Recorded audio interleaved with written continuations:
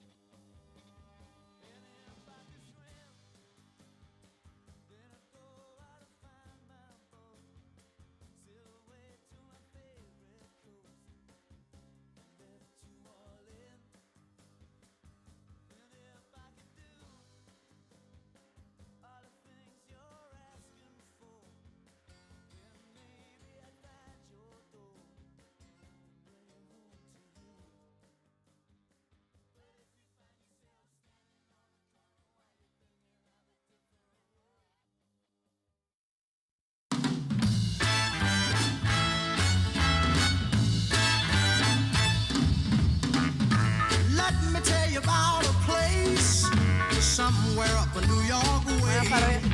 ¿Qué tal? Buenas tardes a todos, bienvenidos. Bienvenidos a las cigarreras. Gracias, las cigarreras, por acogernos. Bienvenidos a un nuevo conversatorio. Yo no sé si habéis estado en alguno. En Alicante no hemos hecho muchos, pero todos los que hemos, lo- todos los que hemos hecho han sido gloriosos. Nada que ver con el que será esta tarde. Quiero dar las gracias al, al Consorci Valencia de Museos que nos ha eh, ha hecho posible que estemos aquí esta tarde y yo os prometo dos cosas. Una, que vais a salir de aquí siendo más felices y más sabios, que eso es súper importante. Y la segunda es que eh, vais a salir mejores. Entonces, esas tres cosas para un viernes por la tarde no está eh, nada mal. ¿Qué tenéis que hacer? Tenéis que escuchar, tenéis que divertiros, tenéis que dejaros llevar y tenéis que ser felices. Tenemos a dos invitados de altura y perfectos para conseguir estos tres propósitos que yo os auguro. Eh, son actores para enmarcar y tienen algo en común, que es un amor por la palabra, por el oficio, tienen un punto de vista, tienen una mirada particular, tienen un currículum solvente, son buena gente, buenas, buenos actores, buenos artistas y quiero que les recibamos con un aplauso muy fuerte. Miguel Reyán, Secund de la Rosa, por favor.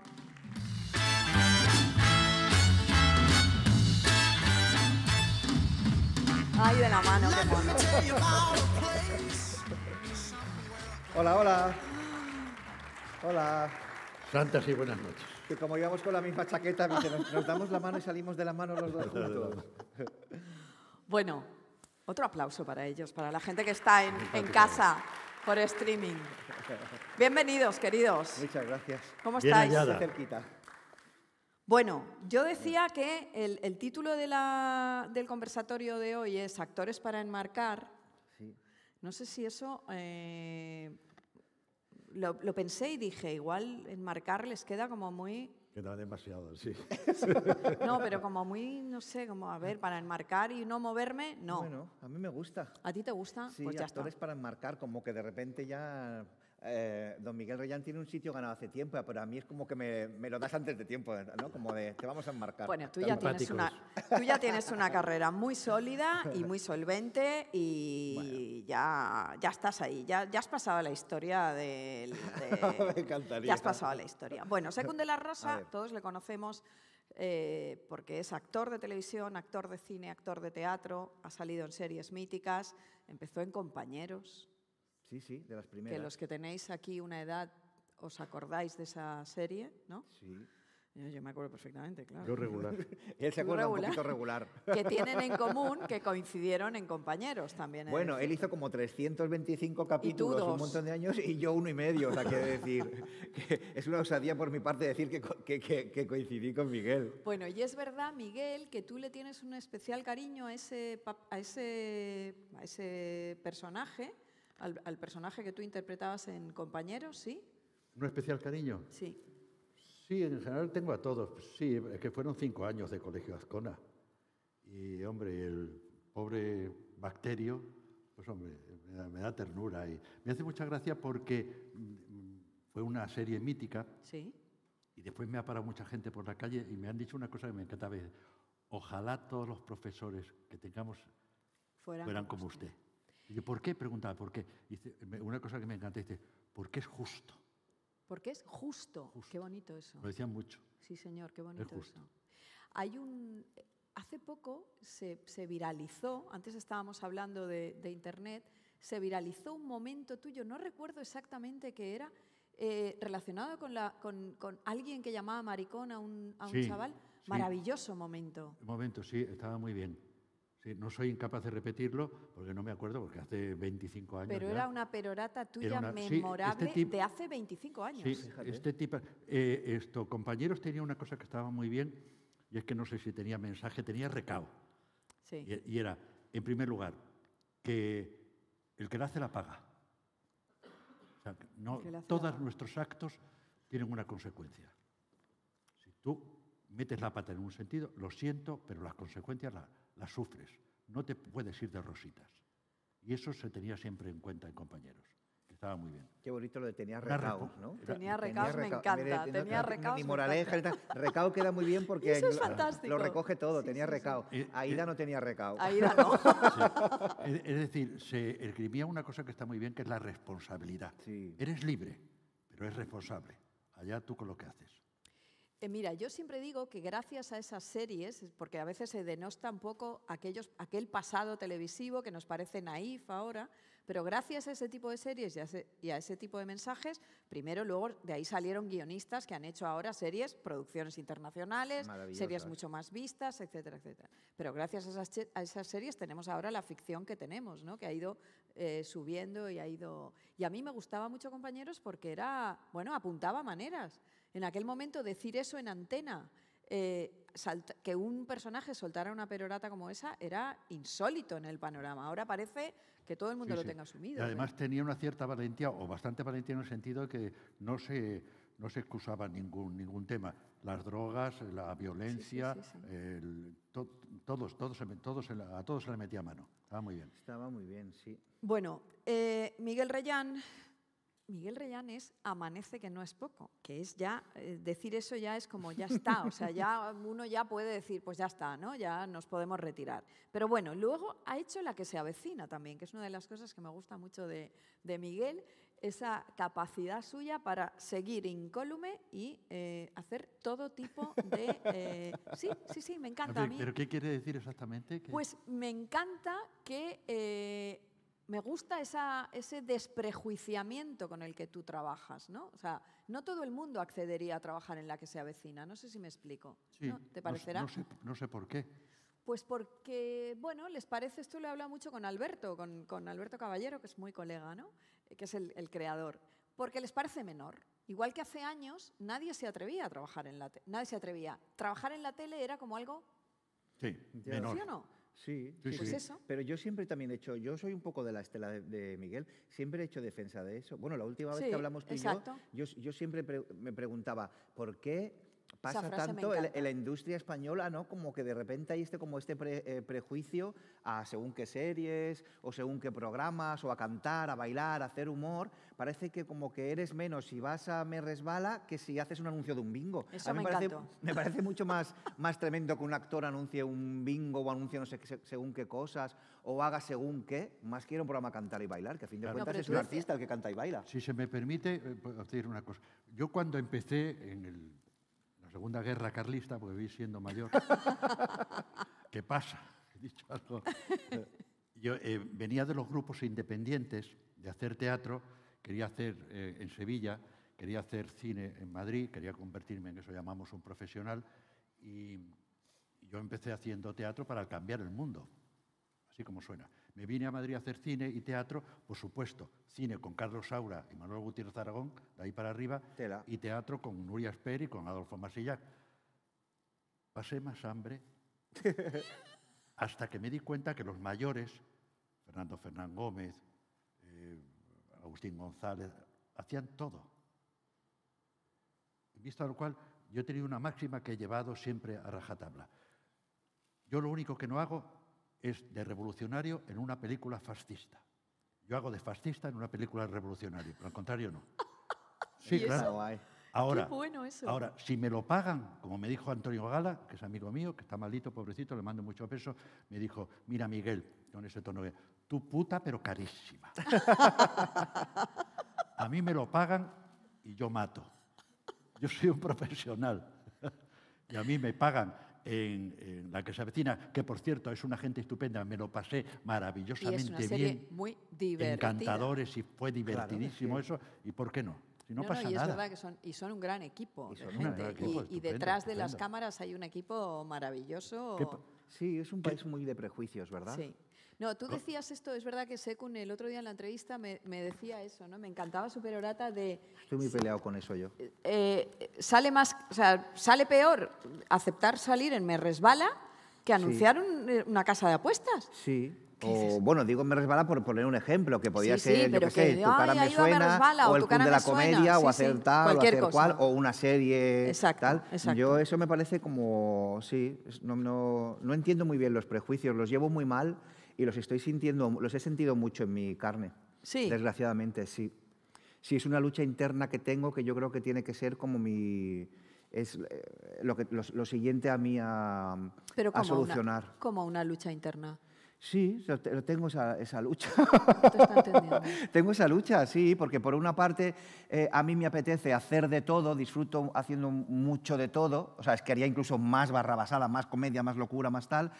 Y por otra parte también hay un secum que le apetece mucho escribir, mi teatro es, casi me lo están pidiendo más fuera que en- de España que en España, de repente otros directores más sesudos. Entonces a veces estoy como en ninguna parte, ¿sabes? no sé cómo explicarlo Ya. que me, da las- que me encantaría hacer como mucho el loco en según qué programas y, volver, y tal, porque lo disfrutaría mucho, porque me encanta cantar y bailar, pero a la vez también me encanta hacer una obra menor, las piscinas de la Barceloneta, el admirador con Juan Pues- Boto. Pues estupendo, ¿no? Claro. Ya. No, estupendo, y sobre Pero todo porque repente- tienes capacidad para hacerlo. Sí, pero luego de repente hago el, hago el cover y de repente me tengo que leer unas críticas como de, me ha gustado mucho tu película, pero yo no la vería al principio porque ¿dónde va el maricón de Aida haciendo una película musical en Benidorm? ¿Sabes? No todos estos prejuicios. Eso te pasa por ver Twitter. Claro. Y entonces digo, joder, cuánto prejuicio con todo, con el musical, con Benidorm, si es que te lo he contado alguna vez y tal, con tu primera película. Parece que tu primera película tiene que ser como cámara de espalda de los hermanos Dardenne, si hay más profundidad en, en- en contar una historia Oye, bonita. me encanta un, un titular que tú decías el otro día. Soy carne de titular. No, no, que decías, eh, cuando estrenó el cover, que os recomiendo, dice, un actor famoso en Chueca estrena su película. ¿Ya? ¿Qué ¿Por qué? ¿Pero qué titular es ese? No lo entiendo tampoco yo. Un actor famoso en Chueca Sí. estrena su película. O sea, ¿qué El chico, me llamó, es el chico me llamó un poco para pedirme disculpas, Ya. para que no entendía muy bien, porque es que yo nunca he entendido ese titular. Porque él- tampoco. porque a él le gustó la película, le gustó yo, me llamó emocionado para hablar conmigo y luego cuando vi ese titular no lo entendí. No, no acabo de entender muy bien si un actor además, no se famoso- correspondía con el y No texto se correspondía tampoco. tampoco. No. Lo- no sé. Eh, bueno, no, No lo entendemos ese titular, ¿no? no lo entendemos. No. Luego hubo otro más dañino de la opinión de, bueno, no voy a decir el periódico porque aguanté, que ¿Cuál? puso, eh, voy, a, voy a meterme, voy a destrozar la película del que se está muriendo de COVID en, en Ma- en el hospital. ¿Cómo? El día que se estrenó el cover en, en Sí. Málaga, eh, que iba al Festival de Málaga, uno de un periódico puso, Pero voy, ese titular lo puso. sí, voy a destrozar la película del que se está muriendo de COVID en el hospital. ¿Pero Pero me estás contando? Sí, No, no, en Twitter no. en el, en el- en el su- periódico. Él lo puso en su periódico. En papel. Y entonces yo en mi casa, que yo estaba en el hospital recién salido del hospital, estaba en mi casa curándome de la neumonía bil- bilateral, o sea que me estaba, o sea que estaba muy mal, me estaba pinchando heparina por no tener trombos y todo, yo tuve un COVID muy grave. Yo vi eso y no entendía nada y en mi casa me dijeron, por favor, no respondas, no entres. Ahora es lo mejor que me ha pasado en la vida, porque yo vivía un poco, un- una parte de mi hemisferio cerebral estaba como en los demás, en querer agradar a los demás. Llevo, los actores somos un poco eso, que nos aplaudan. Por, ahora, gracias a eso, a que me contuvieron, no contesté. Si yo llego a contestar, eh, ni hubiera aprendido la lección, ni hubiera ido bien luego la película, ni nada, porque me hubiera metido en berenjenales que ya me hubieran llevado por otro lado. Pero puso Pero eso. es que no contestara ese titular. No contesté. ¿Y sabes lo que hizo luego el- el- la persona que escribió esto? ¿Qué? En su periódico había una sección que eran píldoras. Entonces, en una de las píldoras puso, em, eh, puso, este hombre no ha venido a, a Málaga no porque tenga COVID, o sea, no- le podía haber denunciado, porque no porque tenga COVID, sino porque su película es tal y cual, y no entré. Luego, en sus píldoras dos, o sea, como que tenía las píldoras del festival, cada día ponía algo contra mí o contra... eh, os estoy echando una chapa un poco rara. No, no, pero Ah. es que esa, esa animadversión me, me una sorprende. versión, hasta que de repente Miguel, eh, en su tuit, el cuarto o quinto día, Eh, puso... Miguel no te está entendiendo. No, en Twitter. Ah, sí. No, no, no, el chico este, tú no, por favor, el chico este puso... Eh, Jolín, menudo enfermo tiene que estar Secunda de la Rosa que ha contestado a los que hablan bien de su película. Claro, ahí ya casi entro porque le voy a decir, estoy en mi casa, no estoy así. Estoy con- lo único que me mantiene unido al mundo es poner, poner en Twitter cosas de mi peli. No tengo otra. Y aparte, ¿qué mal hago? Si no estoy anunciando cosméticos ni cosas raras, estoy anunciando una película. Es que no entiendo por qué esta cosa que de repente se lleva muy bien que pongas aquí desayunando un croissant en el hotel no sé cuántos y no puedes poner venir a ver el cover. Es que me parece... Bueno, ¿no? es que me, me Es quedo, muy loco. me quedo, me quedo, me quedo- Entonces, es muy no loco. Esto que sí, estás sí. contando es muy loco. No entré a nada, no entré a nada de ese hombre. No entré, no entré. Bueno, eh, hay una cosa que tenéis en Muy común. fuerte, ¿no? Sí, sí, es muy fuerte. Hay varias cosas que tenéis en común. Yo decía antes que, aparte del amor por el oficio y la perseverancia y esta especie de inquietud que yo os veo en, todos lo- en todas las cosas que, que hacéis por explorar siempre nuevas historias y demás, vosotros venís prácticamente del mismo sitio, ¿no? En los inicios, porque es verdad que decía Miguel que él empezó en el teatro independiente para cambiar el mundo, tus inicios en Animalario, salvando todas las distancias, porque el mundo ya estaba un poquito cambiado, pero bueno, también faltaban muchas cosas, viene de ahí. Y yo quiero saber si, eh, eh, Miguel tiene una frase que a mí me encanta, que eh, él dice que levantar el telón en época de Franco era un acto político. ¿no? ¿Sí? Sí, las funciones que hacíamos, Alfonso Paso no, pero las funciones que hacíamos nosotros, Bertolt Brecht, eh, hasta Valle Inclán, claro, Reina- eh, licencia de la Reina Castiza, era un acto político. Simplemente el hecho de que Esperpento, el grupo, fuera a hacer una representación, significaba que los grises estaban en la puerta. Estos, estos van a hacer algo. Si es que conseguíamos estrenarla, porque normalmente que la censura no nos dejaba. Sí, sí, hay determinadas cosas, yo que sé, pues eh, los cantautores, pues si podían le prohibían a Raymond, o a, a Llach, o a- de entrada prohibido. No, ¿Qué esto pasa? me- sí, sí, pero es que yo siempre defiendo mucho a los pioneros, a la gente que antes de, de- de mí, de ti, eh, hizo cosas para que tú llegaras y pudieras hacer animalario sin que los grises estuvieran en la, Sí, en la bueno, puerta. A ver, todo es como una especie de... Claro, eh, se va evolucionando y en cada época, en cada etapa, es como los chavales jóvenes de, hoy en día se deben encontrar con una serie de problemas y vicisitudes. A lo mejor no hay una censura franquista, pero se encuentran con esta cosa de, de lo políticamente correcto, de lo que ofende, de lo que no ofende, de lo que se puede decir, de lo que no, o de que de repente para mi gusto, todos, eh, el arte se politiza y para que tenga un valor tiene que estar politizado, el menosprecio al arte como arte, como entretenimiento. Nosotros, claro, no teníamos a Franco, gracias a ellos eh, se podía hacer otro tipo luego de teatro, ¿no? hicieron la huelga para, de los actores, todo tal. Nosotros, en mi caso, eh, nos encontramos una especie de desierto. El principio de los 90, cuando empezamos Cara Calva con Pilar Castro, Goraitor, que éramos como los- eh, a Pilar le da mucha rabia que diga los teloneros del animalario, pero éramos un poco, ahí estaban eh, Alberto, Will y tal y cual, Ernesto, que para mí eran referentes, Natalí Poza, en mi caso mucho peor, porque yo venía del extrarradio de Barcelona, de una familia muy humilde, mi familia eran, eran pescadores. Quiero decir que a fin de cuentas Alberto tenía su referencia, pues su padre era Máximo Sí, con el periódico, el otro tal, estudiaban, estudiaban interpretación después de haber hecho periodismo, estaban, tenían otra inteligencia, otra sabiduría. Antonio de la Torre era eh, tal. eh, lo mío era como una especie de, de, Dios mío, tengo que aprender a todo, tenía que aprender incluso a sentarme. Por ejemplo, ahora, los chavales jóvenes de ahora, mm, las nuevas generaciones, o incluso en el terreno, por ejemplo, gay y tal y cual, yo en mi caso me arrepiento, no me arrepiento, a ver, no es que me arrepienta, pero la lucha era un coñazo, porque esto que tú hablabas de la palmadita en el hombro, yo tenía que hacer obras, animalario, los otros, para arriba, tal, películas De y tal, pero yo necesitaba, dentro de lo que era yo, hacer mis obras y mi teatro en ese sitio, porque la huida, en los, en los 90 se huía del gueto. Ahora es como que se ha vuelto un poco al, se ha vuelto al gueto, pero para reafirmar que puedes estar en el gueto. ¿Me estoy explicando? Sí, es, sí, es sí, como sí, un poco lío. No, y yo en mi momento teatral de los inicios, si no llega a ser por Pilar, esto, lo otro, había momentos donde me sentía muy solo, porque era hacer las obras que a mí me gustaban, que hoy en día sí que me funcionan y que tal, pero en los 90 era un universo que no estaba hecho para mí, porque tampoco me quería ir al gueto, quería sacarlas. Entonces la lucha era desde otro lado. Eh, yo quiero. eh, estábamos hablando de esas, primeras veces. Ha sido tu- este año ha sido tu primera vez, tu primera vez como director.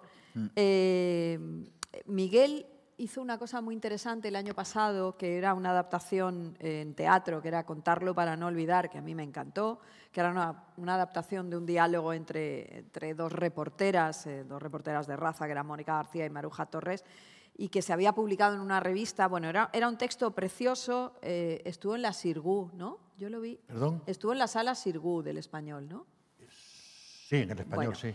Em, Se estrenó allí, sí. porque yo quiero saber qué te lleva a ti a montar una obra como esa, ¿por qué lo haces? Es decir, ve- venía de la, de la historia esta de hacer un teatro político, de, de tener un punto de vista, de tener una manera concreta de narrar, y quiero saber qué te lleva a hacer eso. Pues, Luego te querida, yo creo que de lo mismo porque hay muchos aspectos que he cambiado, pero hay otros que no, afortunadamente. Y sigo teniendo 18 años.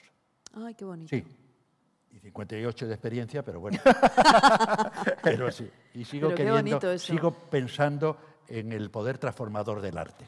Entonces, yo para que los millones de espectadores y de oyentes sepan de lo que estamos hablando, leo un librito que se llama Contarlo para no olvidar, que es una conversación que tienen dos corresponsales de guerra españolas, eh, la tuvieron en, en un hotel en Tailandia, eh, Mónica García Prieto y Maruja, Maruja Torres, Torres. que hablan de la guerra, de la información, de la desinformación. ¿Quién decide lo que se publica? ¿Por qué llega Mónica García Prieto de un conflicto, como ellas llaman, y le dicen en la, en la redacción del mundo, eso no vende? De las bestialidades de la guerra, de las contradicciones de la guerra. Me decían, tú eres buena persona, Miguel. He hablado mucho con ellas. Digo, hombre, pues sí, además quiero serlo. Dice, tú eres capaz de matar a un niño. Digo, no, me- sí, sí.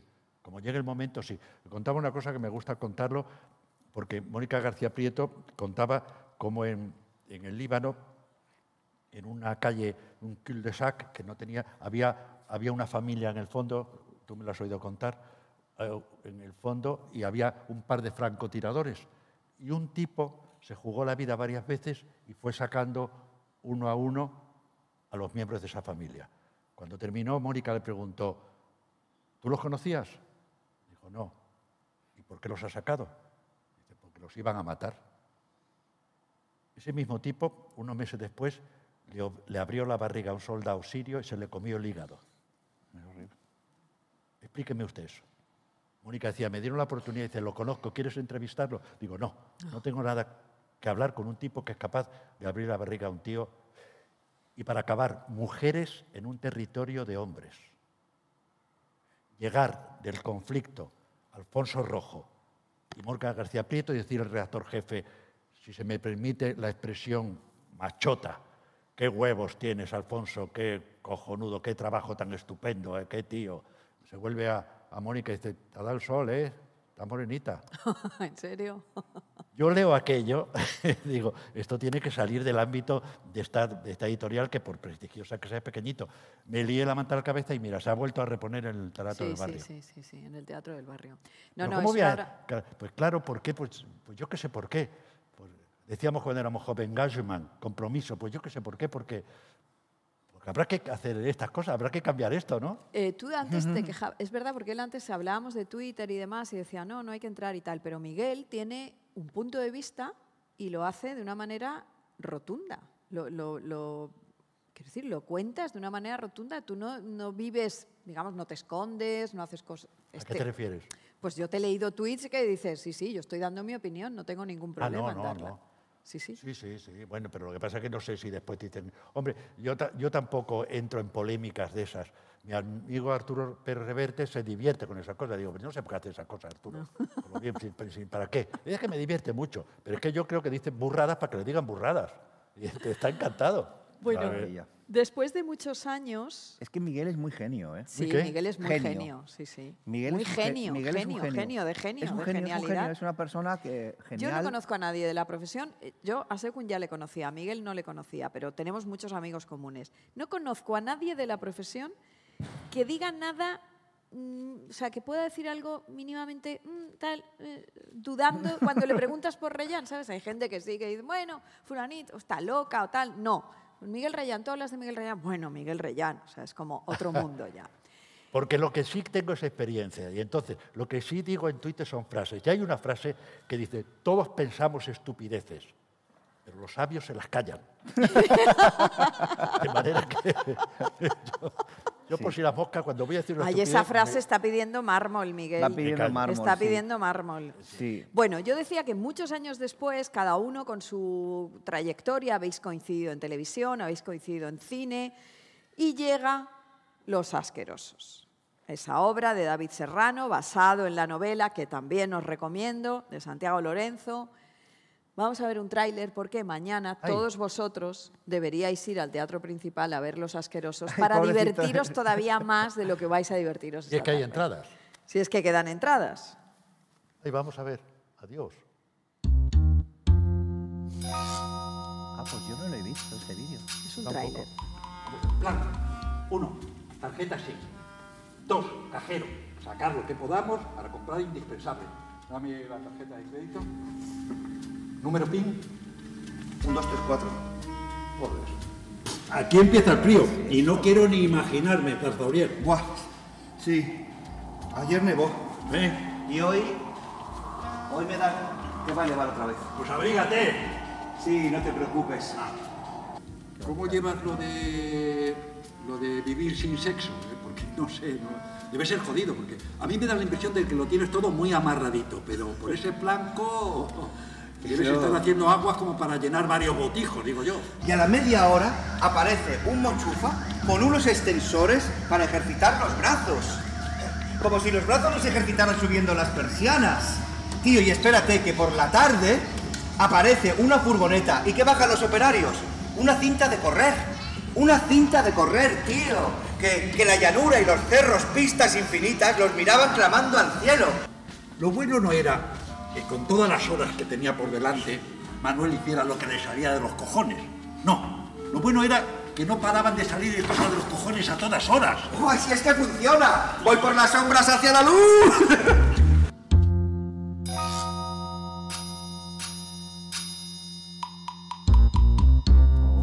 Un aplauso.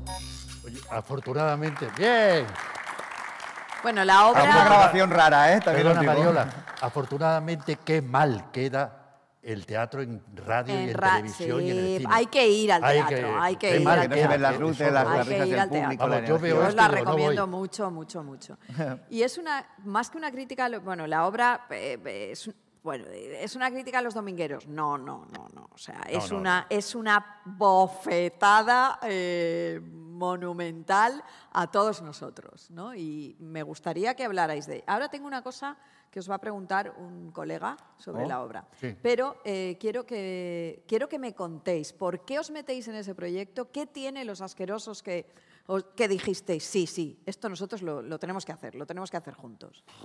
Pues, empieza, empiezo yo porque Venga, tú entras después, porque eh, me lo ofrecieron a mí en principio y no podía, no, y por- era con otro director y un día me llama David Serrano y dice, oye, me han ofrecido los asquerosos. Yo, no me digas, oye, si eres tú, como somos muy amigos, nos queremos, si haces tú, lo hago yo, pues yo también. Y el otro, y lo elegimos y llamamos a este insensato. O sea, fuiste eh, elegido por los dos, por el director. Claro. Fui elegido por los dioses. Es que, querida, en el teatro, que es muy duro, las escuelas debían darlo, en todas, en todas. Porque, lo primero, disciplina, te enseña. En segundo lugar, a ser generoso, a ser humilde, a comprender los defectos, a equivocarte, que no pasa nada si te equivocas. Aparte de saber quién era Sófocles y Antígona, que no viene nada mal. Debían darlo. Y entonces, en el teatro, que es durísimo, buenos profesionales, buenos actores y buenas personas. Porque si no es un infierno. Es un infierno, sí, porque ¿Está si- claro? Buenos Menudo piropo te profesionales. estoy dando. Buenos profesionales, buenas personas y qué? Y humildes ¿te y trabajadores Humildes, y sí, disciplinados. claro. Eh, eh, claro. El teatro es tremendo. Eh, sí, eso además lo dice mucha gente de la profesión, Sí, que el porque teatro si en- es eh, lo si en- más si en un duro. rodaje, eh, un día de rodaje tienes alguien con quien tienes más o menos complicidad es un día, o una peli dura ocho semanas, o una serie, Claro. eh, tal, tal, tal. Y eso se puede más o menos con, ¿no? con, con amabilidad, educación y trabajo, tal. Pero en una obra de teatro que va tanto, implica tanto, tienes que estar rodeado de buena gente. Bueno, el director de esta obra es David Serrano. David Serrano es el director de El otro lado de la cama, Días de fútbol, de grandes musicales que hay ahora. Y, eh, El director. Y es amigo mío y amigo vuestro. Acaba de ser papá. Acaba de ser papá. Hoy. Exacto. Ah, hoy. Hoy. Ah, mira, no sabía. no he Lorenzo dicho. se llama el niño. Hoy ha nacido Lorenzo. Pues David es un genio y tiene una pregunta para vosotros. Ostras. Adiós. Míralo. Hola Miguel, hola Secun. Me ha pedido Mariola que os haga una pregunta em, y os voy a pedir que la contestéis con total y absoluta sinceridad, sobre todo porque como yo no voy a escuchar la respuesta, no me voy a enfadar. Eh, así que aquí va la pregunta. Cuando yo no estoy viendo función, ¿cambiáis muchas cosas? ¿Y qué cosas cambiáis? No va a oír la respuesta. ¿no? No va a oír la respuesta. De no ser que esté conectado, no, porque si acaba de ser papá, no Yo creo estar que acaba de ser Vamos padre. a no creo mandarle que un sea- saludo a David Serrano, Sí, por nuestras felicitaciones por su paternidad. Sí, y a Lucy Va, Piotas. ¿Qué ¿no? cosas cambiáis? Eh, eh, Solemos ser respetuosos, eh, hay cosas. Pero, Pero, él por algo lo pregunta. No sé si deberíamos Sí, no, decirlo, menos porque es, es un eh, spoiler. Si decimos lo que cambiamos es muy spoiler. spoiler y eso. Pero bueno, pero ahora que dígase con Sí. el burro delante, pero yo digo mi opinión, y eso lo sabe David. El cine es el arte del director. Tú estás haciendo la toma y dices, corta, corta, eh, corta, corta. Coge el bolígrafo con la otra mano. Y si lo vuelves a coger con la misma, te corta, oye, que te he dicho que lo cojas con la mano. El escenario que manda soy yo. Dice David, coge el bolígrafo con la mano derecha. Dice, vale, vale. Se levanta el telón. con la izquierda. el, que, el que manda soy yo. El, el escenario es el terreno del actor. Oye, te he visto en la representación y sigues cogiendo el bolígrafo con la mano derecha. Uy, perdón, perdón. Mañana lo cojo con la derecha. Nada, con la izquierda. Exacto. Exacto. voy a decir Y aparte, No, pero somos respetuosos. No, pero es totalmente lo que dice Miguel, que aparte, eh, cuando estás en cine o en una serie, se rueda o se graba y eso queda y luego hay montaje y talonaje y tal. Pero cuando estás en, en teatro, realmente la obra nace una vez que ya el director se va, o bueno, se va o se queda como residente para darte notas y todo esto, pero los últimos, los que terminan la función, los que la completan, es el público y el hacer funciones todos los días. Uno se da- por mucho que te hayas ensayado frase, pausa, frase, cojo boli, al final de repente te das cuenta por la energía del público, por cómo va la obra, por la frase anterior, por la que viene después, que hay que decirlo con más ritmo, con menos ritmo, que la frase le sobra dos palabras, que no sé qué. Entonces se hace con el público. Por una vez, perfectamente de acuerdo. Gracias, Miguel. No, Ay, he, dicho algo, he dicho algo sensato. Hala, ya se ha venido arriba. Que Bueno. Do- dos cosas, perdón, dos cosas. Una, que efectivamente los ensayos no acaban el día del estreno. Exacto. Ahí continúa. Dos, esto nunca sale. La mejor representación es la siguiente siempre. Exacto. Nunca sale. Ah. Hay que intentarlo. Ah, bueno. A no ser- y y hay, que, hay que estar atento porque hay muchas funciones que se degradan. Hay que estar a Exacto, te iba a decir. Que otra no. de las grandes genialidades de don Miguel Reyán es que yo siempre he tenido claro, porque mira, otra cosa no, pero aunque empezara muy crío, empecé muy, lo digo porque me acercaba a las de las edades, iba a decir 25 años haciendo teatro, pero son 25 años, casi 30 haciendo teatros, y de las pocas cosas que sé con lucidez es que en el teatro las obras o se van construyendo, se van haciendo cada vez mejores o se destruyen por lo que sea, por el texto, el ego de los actores, el cansancio, el no haber una figura que limpie, que tal. Entonces, casi siempre tiene la suerte de que las obras se van construyendo, pero es que con Miguel eh, estás completamente seguro de que la obra cada, cada vez es mejor. Qué buen Cada vez es Qué bonito, tiene. un aplauso. No, pero lo digo de corazón y lo digo de verdad y siempre se lo digo a él.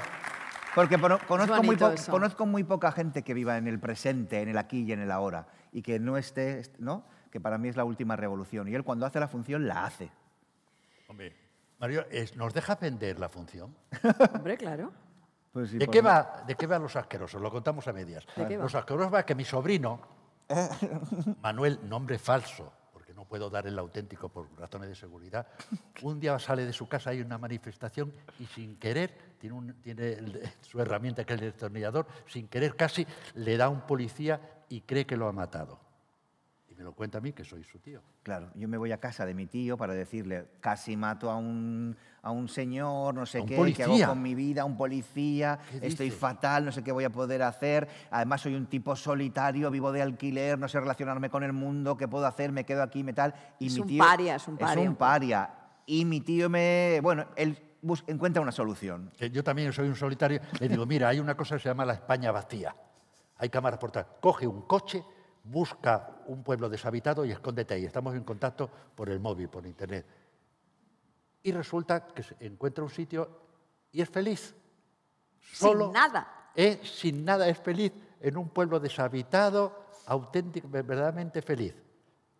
Es muy aspiracional la novela en ese sentido. Pero, Pero pero esa conjunción adversativa que lo fastidia todo. Un día aparecen familias. los domingueros. Empieza, ¿eh? Los no, pero es que, que dice ahora tenemos que aclararlo.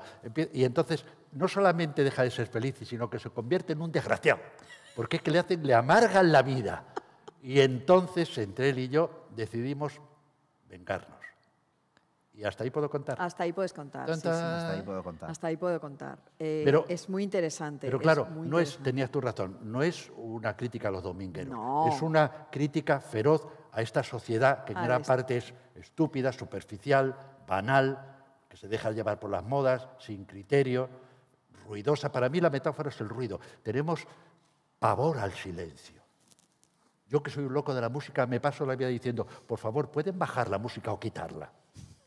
Es que es por todas partes, en los supermercados, en los ascensores, música. Llamas, por favor, está Mariola un momento. tararán, tararán, sí, Quita la música. sí. Música a todo volumen. Bueno, música. Qué eso cuando no es título bumba, para una bumba, novela. bumba, bumba. Sí, sí, es insoportable eso. Sí. ¿Estás de acuerdo? Totalmente, Sí, sí, yo también. Que de, de hecho, me parece muy buen título para una novela.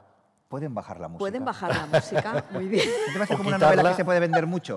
O Pueden Pueden quitarla. bajar la música que empieza así como bien, pero que luego o bajas la música o salgo con la recortada. Exacto.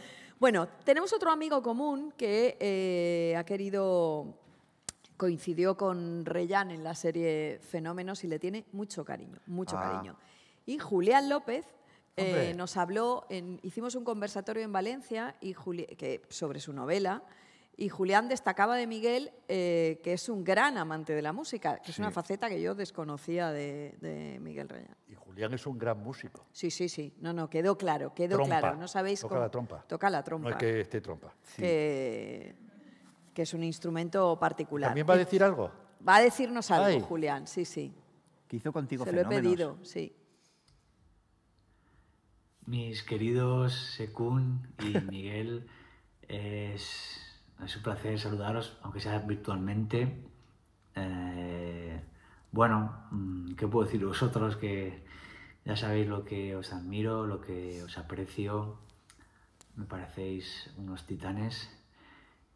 Siento ciertos celos de, de que estéis haciendo la adaptación de Los Asquerosos en teatro, porque es uno de los libros que más me han gustado los últimos años y soy muy fan de Santiago Lorenzo entonces esta adaptación teatral que tuve la oportunidad de, de veros el, pasado año en Madrid, pues Ah, es verdad que eh, vino. lo disfruté mucho y, y- y bueno, es que estáis, inmensos.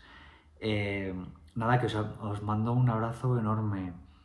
Eh, Sekun, a tope con, con todo lo tuyo, mm, con el cover y, y con todo lo que te propongas, que, que siempre le vas a poner toda tu alma, todo tu buen hacer, sobre, sobre todo inteligencia emocional, que es lo que, lo que tienes a raudales.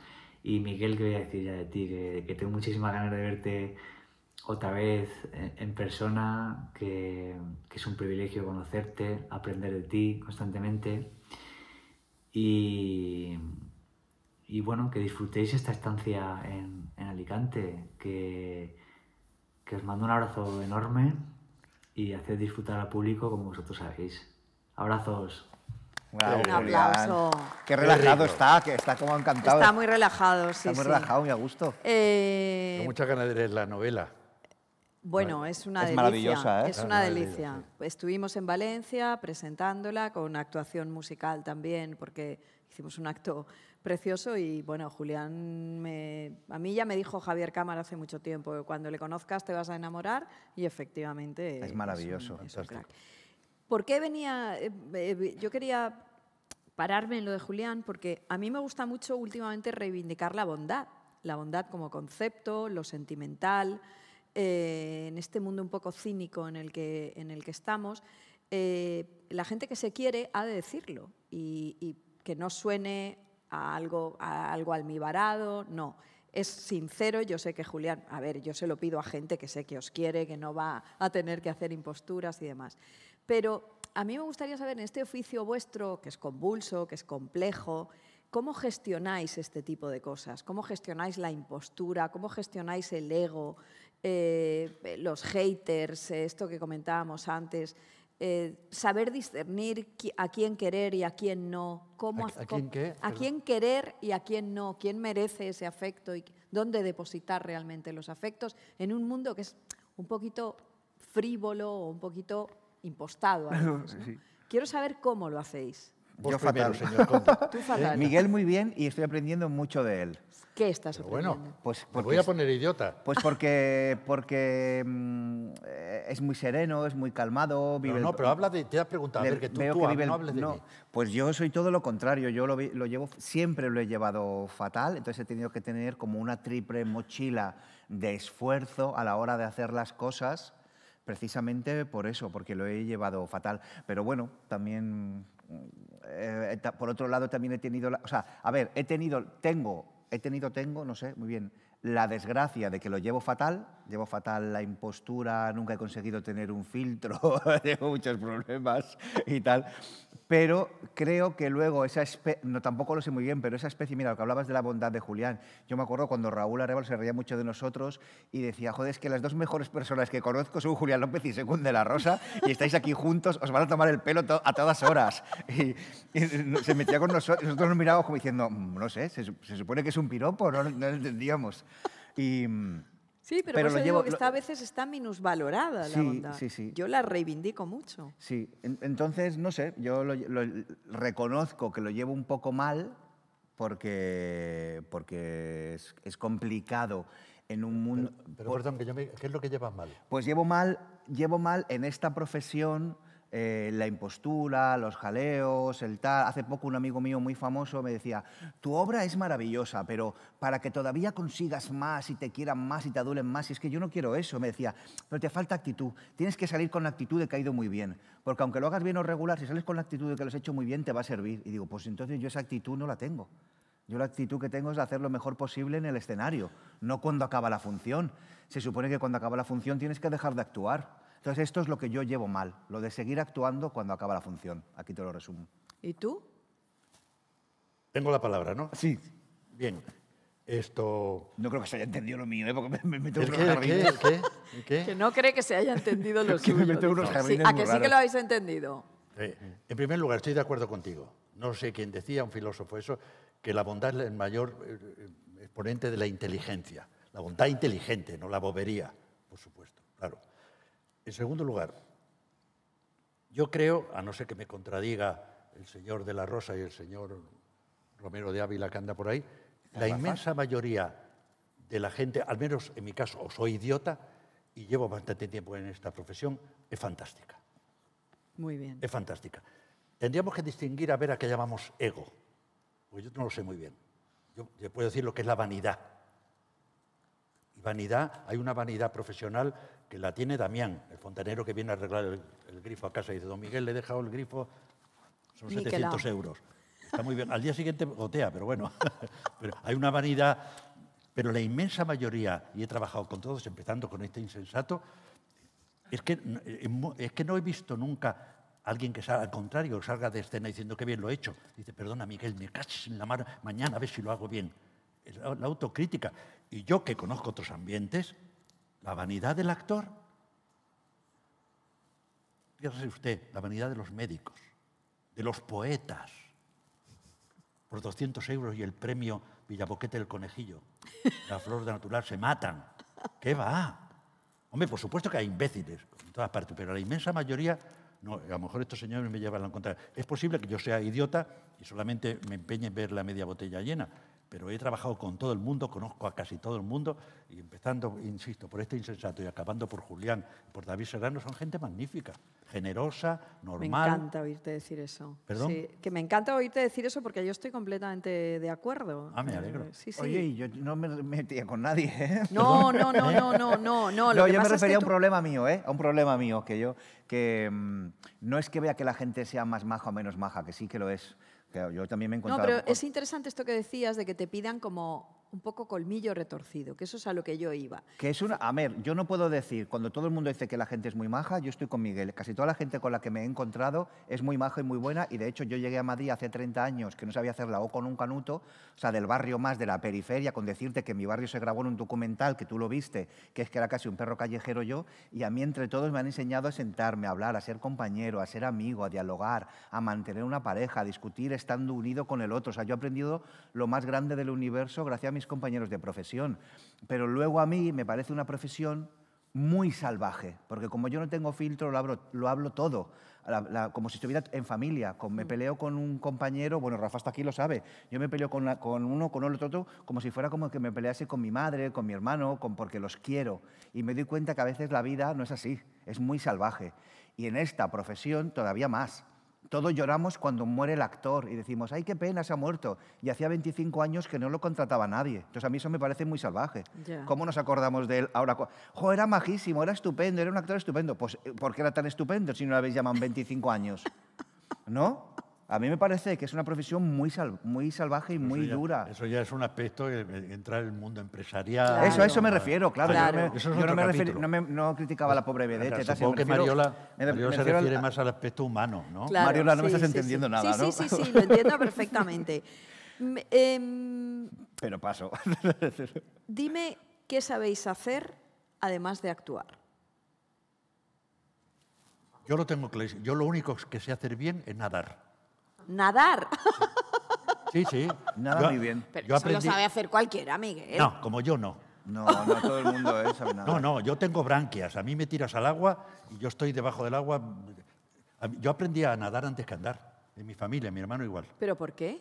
Pues porque, no sé, porque nos echaron al agua en mi familia, todo el mundo nada muy bien. Y me tiraron de bebé, me tiraron al agua y desde entonces. ¿A una piscina o Ah, no, a no, la al, playa? al- o- al- ¿Al mar- pantano? al- sí, al mar, en Marruecos. Yo nací en Marruecos, En Tetuán. Tetuán. Y entonces te, te tiraron al mar, pero Al plan mar, de... y, y- y ahí donde estoy yo desde entonces, que es lo, único que hago bien. Lo demás, nada. Nadar, nunca lo hubiera pensado. ¿Tú, Secund? Yo, que- decía que más sabéis hacer en plan de que os podáis ganar la vida con eso. Bueno, nadar. Pues ¿Tú? yo no lo sé, yo creo que nada más. Sí, hombre, sí. Yo creo que Hombre, ¿Te algo harás. poco? Mira, eres actor, eres guionista, eres Ah, director bueno, de de- cosas de la no, profesión. No, pero yo hablo de Al algo... ma- ella dice al margen de la claro, profesión, al margen ¿no? de si no, fuere, si no os dedicarais a esto, ¿cómo os podríais ganar la vida? Imagínate que ahora llega un gobierno de Franco y os dice, los Ya. actores, no. Pues mira, una casa rural. A mí me ¿Eh? gusta eh, manejar una casa rural. Como en los asquerosos. Sí, manejar una casa rural, un pequeño hotelito, un no sé cuántos, algo así, me, no sé. Vale, No, lo tenemos- sabrías hacer. Yo, yo cuando, cuando me vine, cuando ya he contado parte de mi biografía, de Bueno, mi inicio de la biografía, cuando me vine de Sevilla aquí, que no me conocía nadie, pues las pasé canutas y no tuve que poner copas en ningún sitio. Me mm, sobrevivía haciendo entrevistas, haciendo el horóscopo para una agencia durante tres años. Escribiéndolo. Sí. Inventándotelo. Por supuesto, como todo el mundo. Claro. Claro. Y además siempre el mismo. Porque, porque la gente lee Géminis, que es el suyo. Y entonces yo cambiaba Géminis y a la semana ponía lo de Géminis. ¿en Sí, claro. serio? Ponía lo de. ponía- siempre- claro, porque la gente lee el suyo. ¿Va a leer el de Leo? No. En vista de lo cual, hombre, cambiaba alguna cosa. Y siempre positivo. Posibilidad de un, en- posibilidad de un encuentro favorable. Cuidado con no sé qué. Siempre positivo. Pero eso en un periódico. En una agencia y lo mandaban a muchos periódicos de España. Y después eh, en, una, en una revista, un periódico se llamaba Doblón, gracias a Martínez Soler. a- ¿Lo ves como la gente es buena? Es que si no me ayudan, yo estoy tocando la guitarra en el metro, que por cierto es la cosa que me podía, podía ganarme la vida, tocando la Ah, guitarra en el metro. Ah, ya he descubierto yo también alguna. Ah, mira. Eh, ideario. A mí me gusta mucho spot, idear spots, ¿Ves? y, eh, te- eh, Pero marca. eso, eso forma parte de ¿Forma la parte creación. también? No. Bueno, voy a seguir pensando. No puedes crear. ¿eh? No que no sea de crear. crear. Mira- También mira me que- invento juegos. Ya estás creando otra vez. Sí. ¿Sabéis, ¿Juegos jugar al diccionario? ¿El juego de calamar? Claro. ¿Eh? El juego del diccionario, que es súper chulo. Luego os lo explico. ¿Pero te lo has inventado tú? Eh, no, lo he transformado. Ah. Pero, pero me invento juegos, me invento programas, me invento tal, sí. Bueno. No está dando crédito ahí, eh, Mariola. Este año, eh, eh, Miguel ha sido un abuelo maravilloso en una serie que yo recomiendo que se llama Maricón Perdido, que es la serie de Ah. Bob Pop. Los que no la hayáis visto, creo que la tenéis que ver. Eh, es la historia de Bob Pop, que es un amigo común de los tres. Y Miguel Reyán hace el papel del abuelo. Sé que para Bob eh, era importante, porque su abuelo para él fue importante. Eh, me gustaría que nos contaras cómo fue ese llegar a esa serie. Eh, ¿Qué te contaron de, que, de esa serie? ¿Tú conocías a Bob? Muy, muy fácil. Por cierto, no la he visto. A ver si la veo. ¿En serio? Sí. ¿No la has ¿Por visto? qué? Porque, porque se ha llevado todos los premios, ya. porque está ya en boca Es que de salgo yo y no me gusta verme. Ah, No me, gusta. me han dicho que está muy bien. no, no, es Está no es delicioso. ¿Qué es, la, qué es lo- la ventaja que tiene el teatro? Si te dicen, estás estupendo en la función, no me veo. Bueno, en cambio, en el, estás estupendo en, en no sé qué, lo veo y digo, pero joder, si me acabo de ver, qué horror, qué horror. Entonces, ¿no te ves en las cosas Si que puedo, haces? no. ¿Y tú? Tampoco. Ah, Yo cuento una cosa que me dijo Fernando Fernán Gómez, sí. maravillosa. ¿Qué es? Poco antes de ponerse enfermo, me lo encontré en un VIPS, que por cierto me parece una pequeña tragedia Que se municipal o, acabe. o cotidiana que hayan desaparecido los libros de los VIPS. Me lo encontré. De hombre, ¿qué tal? ¿Cómo estás, Fernando? Y en Mita, que por supuesto viví- vivía y eso. Y de repente, de repente me recordé que habíamos hecho una película juntos, muy mala, por cierto. ¿Cuál era? ¿eh? Se ¿Cuál llamaba eh, Copia Cero o algo así. Y le, eh, hombre, Fernando, eh, esto, ¿qué, qué tal la película esa? ¿La has visto? Y me dice con aquella voz, ¿qué pasa? Que además de hacerla la tengo que ver. ¿Te parece la voz de Fernán Gómez, verdad? Le imita muy bien. Pues es, pues Has eso. parecido totalmente a Fernán. Gómez. Ahora, fue muy fácil. Bob Roberto Enríquez me llama y me dice, voy a hacer una serie sobre, una serie sobre mí. Mi abuelo fue fundamental en mi vida. Yo te quiero mucho, que, que- que me- te quiero mucho y me gustaría que hicieras el abuelo. ¿A quién hay que matar? Sin más. He de maravilla. decirte que yo estaba en esa cena, eh, cuando Bob empezó a hablar de esa serie, eh, yo sabía la historia de su abuelo y demás. Y recuerdo el momento en el que él dijo, a mí me gustaría que mi abuelo fuera Miguel Reyán. Y los que estábamos en esa cena dijimos, sí, o sea, era como, ¿cómo no habíamos pensado todos en eso? O sea, era como, claro, porque lo que nos había contado Bob de su abuelo es que eras tú. Sí, sí. Tenemos un mensaje de Bob. ¡Hombre! ¡Qué sorpresas! Míralo. Hola Miguel, hola Mariola, hola Secun. Aquí Bob Pop. Esto, esto va para Miguel. Señor Reyán, yo le adoro, ya lo sabe. Eh, he tenido la suerte enorme de tenerte en Maricón Perdido interpretando a mi abuelo. Pero me gustaría saber si tú te acuerdas de cuando interpretaste a nietos. ¿Cuántos nietos has sido la ficción? ¿O ya llegaste como señor mayor que no era nieto de nadie? Cuéntanos. Bueno, cuéntales a ellos y luego yo me entero. Gracias por todo. Un aplauso para Bob. ¿Qué? Muy interesante eso, porque ¿has hecho de nieto alguna vez? Hecho de todo, querida. Pero Lo que yo- pasa, además, eh, como decía en una mítica entrevista a Marcelo Mastroianni y Vittorio Gassman, haces, haces, estás haciendo el nieto y un día de repente, de repente dice, bueno, haces el padre. ¿Cómo? Ah, ah. Y un día de pronto, bueno, tú haces el abuelo. Te- Pero yo no era el padre. Y dice, no, eh, el abuelo. Esto va pasando, no te, no te das Qué cuenta. cosas, ¿eh? Pero yo no me acuerdo. Yo suelo decir que hay tres clases de memoria: buena, mala y conveniente. Pues la mía es conveniente, porque sí, he hecho de nieto, supongo, pero no me acuerdo. Bueno, la experiencia de Maricón Perdido ha sido grata. Sí, eh, maravillosa, maravillosa. y yo, para animaros a ver esa serie, os voy a pasar el tráiler. Que no sé si. eh, supongo que el tráiler sí que lo has visto, ¿no? El tráiler No, de no Maricón lo- no tampoco. recuerdo. Bueno, vamos a ver el tráiler. Esto no se lo digáis a vos. No. Ah, sí, sí, lo he visto, sí.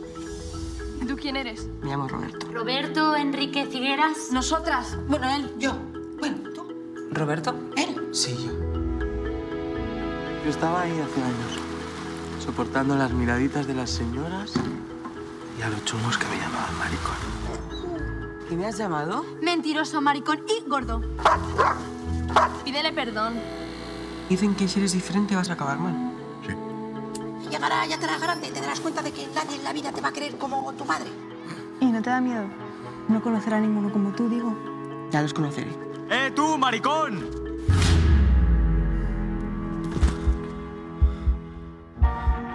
Túmbese en el diván y recuerde.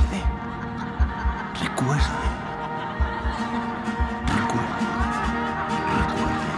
Dile a mamá lo que quieres ser de mayor. Escritor. Escritor, mira tú qué bien. En el momento que uno se pone a escribir, aquello se convierte en otra cosa. Es un artefacto que te es ajeno. Esto lo van a leer tus jefes, tus padres, tus amigos, tu abuelo. Escribe lo que imaginas, lo que te da miedo que te pueda pasar. Me debes 5.000 pesetas. Mira, tío, lo siento. No contaba con esto. No contabas con esto, pero ¿tú qué te crees? ¿Que follas gratis, gordo? ¿Me la quieres tocar? Puedo. Robert, lo siento. No te tendría que haber dejado solo con él, por favor, perdóname. No hace falta que se lo digamos. Paso de mentir. Egoísta, Roberto. Inventándote a alguien que no eres. Creo que a ninguno de los dos os gusta la vida que tenéis. Siempre queréis otra.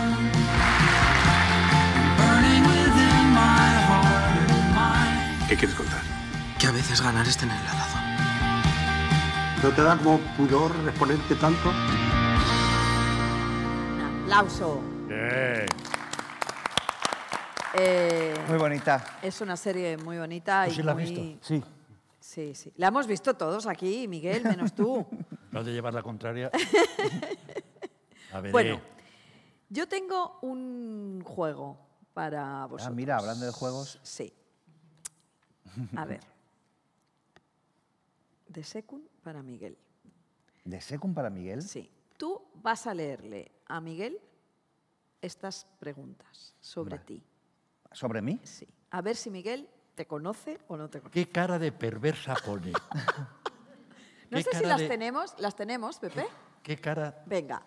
De Secund para Miguel Reyán. Tú tienes que decir Vale. la- el enunciado y las respuestas que irán saliendo ahí. Preguntas Vale. cruzadas. Secund, pregunta no digo nada. a Miguel. Tú tienes que adivinarlas. A ver. ah, no puedo mirar. Sí, sí, claro, claro. Tú vas a- puedes escucharle y mirarlas. Ah, Estoy explicando fatal el juego. lo has explicado muy mal, ¿eh? Sí. Verás ahí las preguntas. Preguntas cruzadas. Secund, pregunta a Miguel. A ver, Venga. pregunta guapo. A ver, Miguel, te voy a hacer La una respuesta es no. La pregunta. No, Sí, todavía sí. no. Te dan tres opciones. ¿En qué Mm. película Venga, no he sí. estado? ¿En qué película de las tres que te voy a decir no he estado? Yo no he estado. A. Pancho, el perro millonario. ¿Eso qué es? B. El asombroso mundo de Borja Mari y Pocholo. C. Fe de Etarras.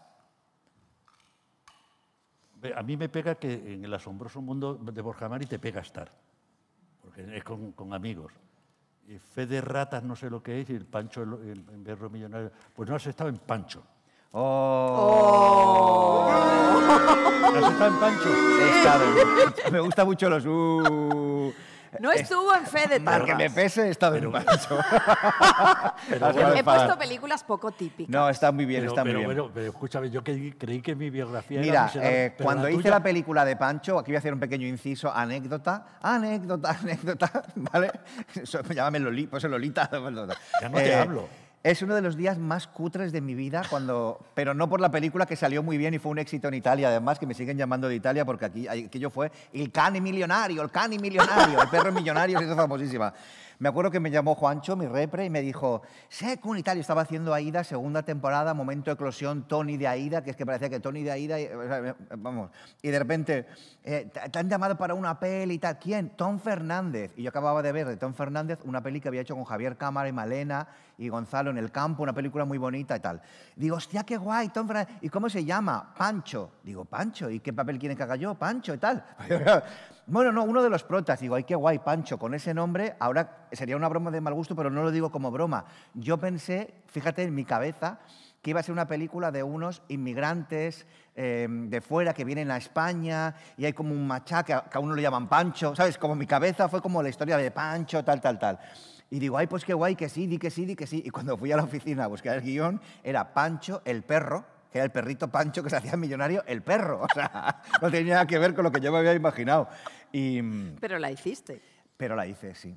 O sea que también tienes una biografía tú fina. Hice Pancho el perro millonario, hice El asombroso mundo de Borja Mar y Pocholo, que era una colaboración muy graciosa, que la prota era Pilar. Sí. Y, y la que no hice fue Fe de Tarras, Fe de que, Tarras es muy buena. que es muy buena y es una película de Borja Cobeaga. De con el que yo he Borja, de Diego, con. Javier Cámara, Exacto. con Julián. Con Julián, y con, con y con y con Miren Miren. y con tal. Si entonces, por favor, de darme, Vale. darme Vamos tu a la currículum segunda. porque... Segunda pregunta. Adiós. ¿Verdadero o falso? Escribía fotogramas para preguntarles cómo podía ser actor y me contestaron. Verdadero. Sí. Bien. eso porque me lo has Pero contado. quiero que cuentes eso. Esto es Maravilloso. una de las historias más bonitas que me ha pasado en la vida. Ahora ya, me, mm, saco al verdadero Sakuna a pasear, ¿vale? Mira, yo estaba en mi barrio, imaginaros, mm, barrio, extrarradio, ta, ta, ta, polígono Cañelles, eh, años 80 y tal, yo con 15 años, era- que, mm, no tenía ni, ni idea del mundo de la profesión de los actores, ni de nada, no sabía de nada. Para mí uno de los días más fantásticos de mi vida es cuando iba con una especie de novieta, que era igual de garrula que yo, y de repente me dice... Me dice ¿Novieta? ¿A ti te gusta mucho? Sí, una novieta que se llamaba Rosy. Era como una novieta. Es que a los 15 años todos teníamos novieta. sí, sí. De repente iba con- íbamos, íbamos la Rosy y yo. o sea, ¿vale? Íbamos, íbamos eh, eh, ta, ta, ta, no sé cuánto, a tomarnos un cacaolado, algo así. Es que, pues, 15, 16 años. Y me dice, ¿a ti te gusta mucho el cine, tal, secund y tal? Sí, qué raro eres. Porque a mí me gustaba el cine, yo era el raro del barrio, ¿vale? Y me dice, pues tengo una tía mía, que luego resultó que era la típica eh, tía lesbiana que te- ta, bueno. Y me dice, tengo una tía que tiene una revista donde solo salen, hablan de películas y cosas, un aburrimiento. Pero claro, era una revista que, fotogramas. Y de repente digo, ah, sí, ¿existe esa revista que hablan de cine? Sí, sí, sí, imagínate. O sea, el nivel de pobreza emocional en mi mundo y tal, que no sabía ni que existía fotogramas. Me, lo- me dan el fotogramas, existe el fotogramas. Voy a mi casa, me quedo flipado. Ya mi mundo era lata de Coca-Cola, cigarro fortuna y fotogramas. Con 15 años, encerrado en el cuarto. Venga a fumar Coca-Cola, fotogramas, venga a fumar Coca-Cola, fotogramas. Y yo me quedaba como loco. De repente empezaba... eh, los, los reportajes eran como... Es que yo, eh, claro, era un mundo muy solitario para mí porque no sabía con quién compartirlo. De repente era tal y tal, ruedan tan películas no sé dónde. Yo, ¡ay, qué maravilla! ¿Sabes? Yo como que ya tal. Y veo que existe una sección de escribir, la de Mr. Belvedere, ¿no? Y de repente, pues yo cojo y eh, escribo una carta. Y le pongo Mr. Belvedere, me encantaría ser actor, he ido a ver el Club de los Poetas Muertos y he salido fascinado, todas estas cosas y tal, no sé cuánto, no sé qué, ojalá algún día lo consiga, ¿qué puedo hacer? Me he inventado un nombre, me quiero llamar Sergio Márquez, me quería llamar de... Porque claro, ¿dónde vas llamándote Secundino de la Rosa, ser actor? Yo lo he conseguido a pesar de tantas cosas, la primera el nombre, entonces de repente, eh, de repente escribo y cuál es mi sorpresa, que al cabo de un mes o dos meses yo ya he descubierto dónde venden el fotogramas, que no lo venden en mi barrio, me tenía que ir al Passeig de Gracia, en el centro, tenía que coger el 47, me- una hora de autobús, bajarme en el centro y conseguir que en un kiosco tal, porque en mi barrio 10 minutos pronto lecturas mm, y cuatro más, ¿no? Fotogramas, ¿quién lo va a comprar en mi barrio? De repente, eh, compro fotogramas, Miguel, y de repente veo Mr. Belvedere, a Sergio Márquez. Digo, "Ay, pero Sergio Márquez soy yo. de repente, hola Sergio, tal, me, me- encanta que hayas visto el Club de los Poetas Muertos, qué maravilla, eso dice mucho de ti. En tu, por tu carta se destila mucha, ta, ta", me dice como cosas súper bonitas. Si quieres ser actor deberías estudiar teatro y tal y cual. Me contestan, esto es en el año 88 o así, yo, yo no me acuerdo más. Lo olvido, ya es una de mis anécdotas de vida. Ay, me han contestado en el fotogramas, ay, tal. Ya me olvido. Me olvido hasta cierto punto, porque me toca ir a la mili con 17, 18 años, porque yo he nacido en Nochebuena. En mi barrio no sabía nada, no sabía ni siquiera ser objetor de conciencia. Al cabo de dos años acabaría la mili, pero a mí me han pasado todas estas cosas en la vida, que me toca la última mili obligatoria, me toca a mí. ¿Y la No- me fui a Francia a hacer la mili con 17 y ¿A 18 Francia? años. ¿A Francia? A? San Climensa Sebas, porque como Ah, era catalán, vale, claro. me tocó en la Junquera. Todo francés. Imagínate yo con 17 años, maricón, con el CESME, con el CESME militar de Zapador allí. Bueno, allí me hicieron un nombre. Entonces, de repente, estoy allí y ya me decido a ser actor. Ya me voy a estudiar, tal, tal, con mi fotograma guardado de hace dos años. Aquí ponen que hay escuelas de teatro, tal. Bueno, se me olvida todo. La anécdota es demasiado larga ya, ¿no? No, Pero no, bueno. sigue, Bueno, porque quiero que llegara a Betriu. Vale, entonces, eh, hago, hago, hago el servicio militar, no en medio de todo esto, la llamada a Betriu, ¿te la cuento? Sí, por favor. Vale, pues me voy a mi casa y de repente eh, yo ya quiero ser actor, sé que hay escuelas, no tengo dinero para escuelas, me tengo que estoy en medio de la mil y no sé cuántos tal. eh, descubro las páginas amarillas que existen las escuelas, que existen las productoras. Yo todavía no distinguía entre productora, gente. Para mí el director es el que hacía todo, mi nivel de ignorancia era muy grande. Pero veo directores de cine y el primero era Betriu. Betriu francés, por la B. Le llamo. Hola, señor En las páginas amarillas. En las páginas amarillas. Así como te lo cuento. Páginas amarillas, directores de cine. Es que yo es una cosa muy loca. Entonces yo le llamo, señor, señor Betriu, eh, mire, eh, me llamo Sekun, pero me quiero llamar Sergio Márquez, o sea, mi- ya mi locura. Y yo, bueno, quiero ser actor, eh, fotogramas, han dicho que tal, que no sé qué. Entonces eh, yo le llamo a usted porque es director de cine y tal. Y me dice, Perdona, ¿quién eres? no, bueno, eh, tal. Mira, estás llamando a un domicilio particular. Esto no se puede hacer y tal. Y me cuelga. Yo me voy al balcón, me entra uno de mis sofocos que Miguel ya me conoce. ¡Ay, Dios mío! Yo en el, balcón, en el balcón de mi barrio, esta cosa como rara, mirando para abajo, los chavales con la moto, escuchando a los chichos comiendo pipas. Yo cago aquí, me vuelvo para adentro, digo, este hombre, no sé, este hombre no sabe con quién se ha topado. Le vuelvo a llamar. Mire, perdone, yo es que quiero ser actor y me parece muy mal que me haya colgado. Es usted un no sé cuántos, yo no sé, le cuelgo. Sale el segundo de siempre, vuelvo al balcón, esta vez de rabioso, lloro. Qué pena, le he dicho a este hombre de todo, pobre hombre, me siento fatal, ¿qué hago? Tal. Le vuelvo a llamar, le vuelvo a llamar por tercera vez. Perdone, señor Betriu, es que le he colgado el teléfono, le he insultado y me dicho usted que he llamado a un particular. Mi nivel de ignorancia era tan grande que yo no había llamado a nadie por teléfono. Había llamado a mis tíos y a mis abuelos. Yo no tenía conciencia. Mis padres no eran de tener muchos amigos. O sea, yo no, lo de llamar a alguien y a un señor y a un director de cine menos. Y me dice el hombre, vamos a ver, insensato, casi me dice. Y te contrató. Sí. No me digas. Sí. Por contrató. pesado. Me, No me dijo, diga. me dijo, Un aplauso, un aplauso. Sí, me bueno, es que la historia continúa, por favor, voy a, voy a acabarla porque ya nunca la- eh, me da como pudor contarla y tal. Y me dice el hombre, a ver, estás llamando a un domicilio particular. Yo soy director de cine, pero los directores de cine mandamos muy poco. ¿Dónde has sacado mi teléfono? En las páginas amarillas. Y me dice, anda ya, por favor, esto que es una broma y tal. Digo, de verdad, pone con la D, directores de cine, Betriu, es usted el primero. Mm, Soy el primero. ¿Qué películas he hecho Ahora yo? estaría. ¿Qué películas he hecho, he hecho yo? Y digo, ay, no lo sé. es, usted, dire- es usted director de cine. El hombre dice, espera un momento, voy a hablar con mi mujer. Habla con su mujer, que yo le oigo. Eh, cariño, escolta una, una cosa. Eh, mira las, a las páginas amarillas, tal, tal. De repente, sí, sí, pues es verdad, estamos en las páginas amarillas. El hombre no daba crédito y me dice, mira, que me acordaré toda la vida. Dice, voy a empezar una serie de televisión. Tienes que irte a la calle Mallorca 336, en la segunda planta, Institut del Cinema Catalá. Y ahí yo voy a estar, se harán pruebas, tú vente con tu currículum, con tus fotos y con tus cosas y ya veremos qué pasa.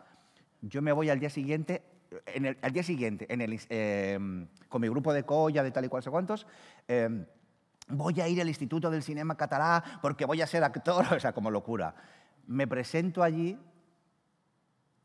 y lo primero que me encuentro eh, al, subir la segunda planta, que nunca había estado en un sitio así, ahora ya para todo el mundo está, pero imagínate, de bloques de cemento de barrio a pasar a un piso del centro y tal. Bueno, y la secretaria me dice, ¿traes currículum? ¿Cómo currículum? ¿Y currículum qué es? ¿De, de tus cosas, de tus trabajos? No, no traigo currículum. ¿Qué cara tendría yo que no me afeito? O sea, me acababa de empezar a afeitar, esta cosa que te afeitas todavía se nota que te has afeitado poco, gafas, culo de botella, tal. Sé con 17 años, barrio, años 80. Me dice, mira, coge este folio, apunta cómo te llamas, lo que has hecho, lo que tal. Yo no había hecho nada. Había dicho, di- puse, pues mira, intenté hacer una obra de teatro en el colegio y me echaron de la obra porque yo había leído que los actores tienen que ser de verdad y como fui con camisa vaquera de verdad para hacer de malo, me echaron porque había que ir guapo. O sea, no he hecho nada. Y de repente, bueno, venga, una foto. No tengo foto, la de la biblioteca del barrio que es pública y tal. Arranqué la foto del carnet de la biblioteca y en boli puse, me llamo Secund de la Rosa, tal y cual. Vale, pues mira cámara. Miro a cámara. Hola, me llamo Secun y tal y cual. Vale, venga, vete. Cuando me iba, Ángeles del Cielo, Yaya Vicenta, los que siempre me han protegido. De repente me voy a, voy a salir de allí y entra un señor catalán, francés Betriu. Hola, hola, hola, tal. Miran todos, eh, las secretarias miran como diciendo, mira este friki que ha, venido aquí. Y yo, ah, estás. Y me mira y me dice, ¿y tú eras? Perdón, eh, ¿tú eres el que me llamaste por teléfono? Digo, sí, sí, sí. ¿Y ya has hecho la prueba? ¿Has hecho todo? Sí. Y, y le dice a las chicas, es que era un hombre tan bueno, desde aquí te doy las gracias. Y dice, mira, voy a llorar, porque de repente dice, ¿ya le habéis hecho la prueba? Sí. Ah, y, pero ¿se la habéis hecho cómo? ¿Así? Sí. No, no, no. Espérate un momento. ¿Y cuántas te han hecho? Una. Me dice, no, no, no. Vale, pues ha- has calentado. Y me dijo, quítate las gafas. Yo iba con gafas de culo de botella.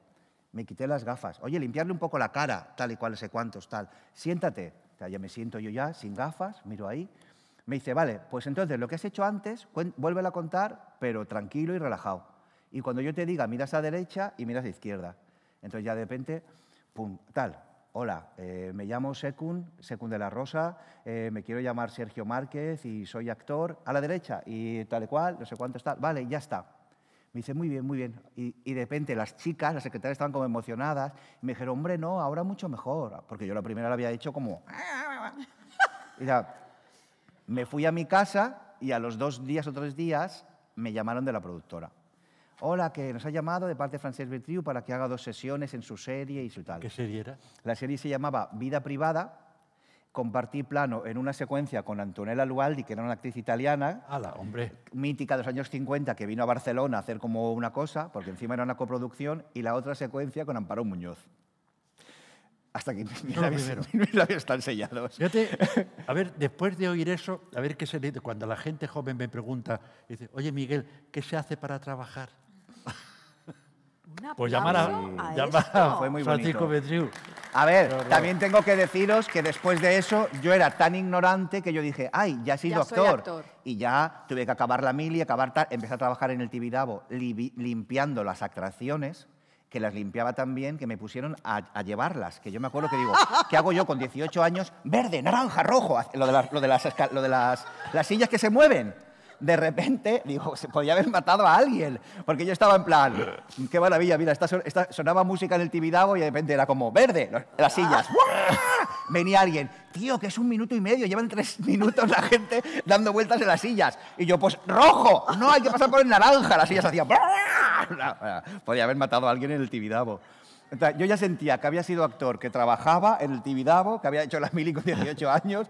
No, no sé de dónde me vino la sensatez de... Bueno, sí, sí, yo sé de dónde me vino la sensatez, del fotogramas. Yo guardaba ese fotogramas y al lado de lo de... Es que son cosas muy fuertes de la vida. Al lado de la respuesta de, de Mr. Belvedere, tú podrás ser actor, y al lado de mi sesión, que, de lo que cobré por haber hecho Frances Vitrio, que era una mierda, dos sesiones, figuración especial, decía dos frases, no pesa nada, señora, le decía Antonella Lualdi.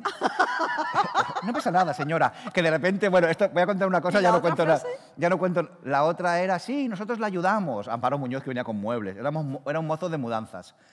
Eh, cuento esto y ya no os cuento nada más. Mi plano era este, eh, que me acuerdo que han pasado casi 30 años. Yo iba con un mueble por aquí y ta, ta, ta, ta, se, se acercaba por ahí Antonella Lualdi como si fuera Mariola. No, por favor, deja el mueble, hablaba italiano que luego la doblaron. Y yo decía así, no, no, si no pesa nada, señora. Yo era tan ignorante, tan ignorante que de repente hacía esto. Iba así y hacía, no, si no pesa nada, señora. Mira, mira, mirando, mirando a cámara porque, pensaba que te- porque quería salir en la cámara. Entonces era como de, no, no pesa nada, señora. Y me iba para adelante. Entonces me venía el pobre Francis Betriu. No, pero díselo a ella. ya. No, pero díselo de verdad. Y tal, ¿sabes? Como digo, este hombre cómo ha tenido el valor de aguantarme mi primera sesión. El, el, además te ponía morros, el típico que hace, no, si no pesa nada, señora.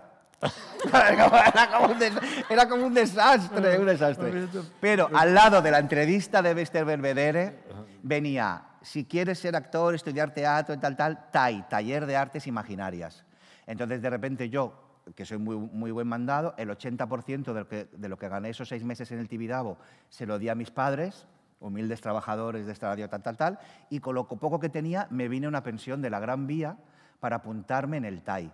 Con tan buena barra mala suerte, sigo contando, estoy contando mi vida Sí. entera. Bueno, con tan mala buena suerte que a las dos semanas de estar en el TAI, que el profesor era Alberto Miray y otro, hay como una huelga, todos, ¡ah, porque va, el TAI es una mierda! Unas peleas, y yo estaba encantado por fin de conocer a algún actor o algo, y me acuerdo que conocí a un grafitero que luego sería Dani Guzmán, pero que Ah. hacía graffiti y se llamaba El Tifón. Y era un macarra. El actor Un director. macarra que iba alrededor, al lado de la escuela, yo me hice colega de él, me llevaba con su moto y yo le decía, en la escuela tengo que hacer de ciego. Y me decía, pues espérate. Y nos íbamos a lucha a hacer, a hacer, de, a hacer de ciegos. Y digo, ¿dónde va este maricón catalán y el, gar- y el garrulo de Dani Guzmán, el tifón, los dos por la lucha, haciéndonos los ciegos? Era como, bueno, un- una locura. Y me- y de repente me dicen, no, esta escuela es muy mala, la gente se apunta o a Leighton o a la Rota. Entonces yo me fui a la Rota, a Cristina Rota, de casualidad, porque el día de Leighton unos estaban por ahí, de casualidad todo. Llegué allí, me hicieron hacer una prueba, Cristina me dijo, no chico, pero como habla como Cristina, tal, pero de verdad, dímelo de verdad, tal. Y yo dije, ¿de verdad qué es? De verdad, de verdad, que yo me crea que es de verdad. Entonces ya conté algo y lo conté de verdad y tal, y me dijo, pues venga, admitido. Y ahí me di cuenta que era tan cateto, tan ignorante que me faltaba tanto por aprender que me metí en esa escuela octubre de un 92 y hasta octubre de un 96 no salí. No, me, perdí- me tiré cuatro años ahí, sin salir, a todas las clases, a todas las pruebas, a todas- todo, todo, todo, todo, todo. Y por las noches me metió Natalí Poza a trabajar de recoge vasos en la discoteca Sol. O sea, recogía vasos a clase, de clase a recoger vasos. ¿Qué tío? Aplauso. ¿Qué te ha pasado? Pero tiene razón Miguel en que ahora cuando llegan chavales que lo tienen mucho más fácil, claro, a preguntar qué hay que hacer, pues eso hay que hacer.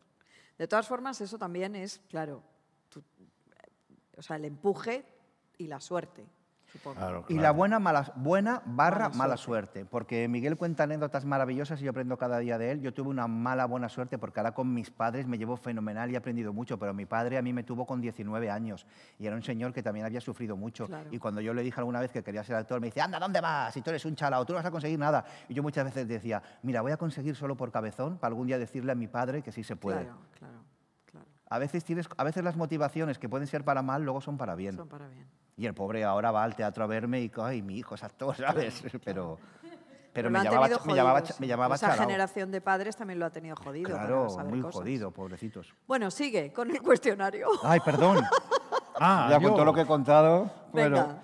a ver, verdadero o falso. Estuve a punto de hacer de narco en una peli de Scorsese, pero no querían casillarme. ¿Tú qué crees? Me ha pasado algo más fuerte que eso, pero no puedo contar las anécdotas de media hora. Bueno, ¿es verdadero o es falso, Miguel? Falso. Sí, es falso, es falso. Es falso. Pero he trabajado con Marlon Brando. ¿Haciendo qué? haciendo la película de Cristóbal Colón. Cuando me metí, o sea, segunda parte, solamente 30 segundos, Miguel, Eh, Oh. porque esto, es que soy- estoy muy, char- muy oral. De repente, eh, me meto en la Cristina Rota. En la Cristina Rota. Cristina Rota me acepta. Me dice que tengo que ser de verdad. Me vuelvo loco y a los seis meses de que yo lloraba, porque yo en mi barrio veía en la bola de cristal. Y me parecía un mundo apasionante porque yo no salía de mi barrio. Y me tocó de compañero Aitor Merino, que salía en la bola de cristal. Y yo le miraba y decía, hostia, el que, eh, Aitor Merino, el que yo veo en la bola de cristal. De repente. Bueno, el caso, que a los seis meses de estar en la rota, vienen a hacer pruebas porque busca- buscan monaguillos para una película. No sé qué pasa, los americanos, ah, chucha, thank you, what, what, you, what, what", tal, tal. me miran, me dicen, you, you, you, you", y me cogen. Y era la película de Cristóbal Colón, de Ridley Scott, o Ah, de no sé sí. quién era, que Marlon Brando era Torquemada, Sí, y sí, me sí. cogen para estar al lado de Marlon Brando aquí sentado de monaguillo, mientras Torquemada va a tal. Entonces, No tenías frase. No, yo estaba ahí sentado de monaguillo al lado de Marlon Brando, que le pusieron un pinganillo y todo lo hablaba con pinganillo. Entonces, de repente, no sé por qué motivo, eh, una chica que era como que tenía que hacer de monja y yo íbamos en una furgoneta metidos todo el rato con Marlon Brando para que no le hicieran fotos. Pero éramos los dos figuran- figuraciones especiales de monaguillos todo el día con Marlon Brando. Bueno, perdón. Venga. ¿Verdadero o falso?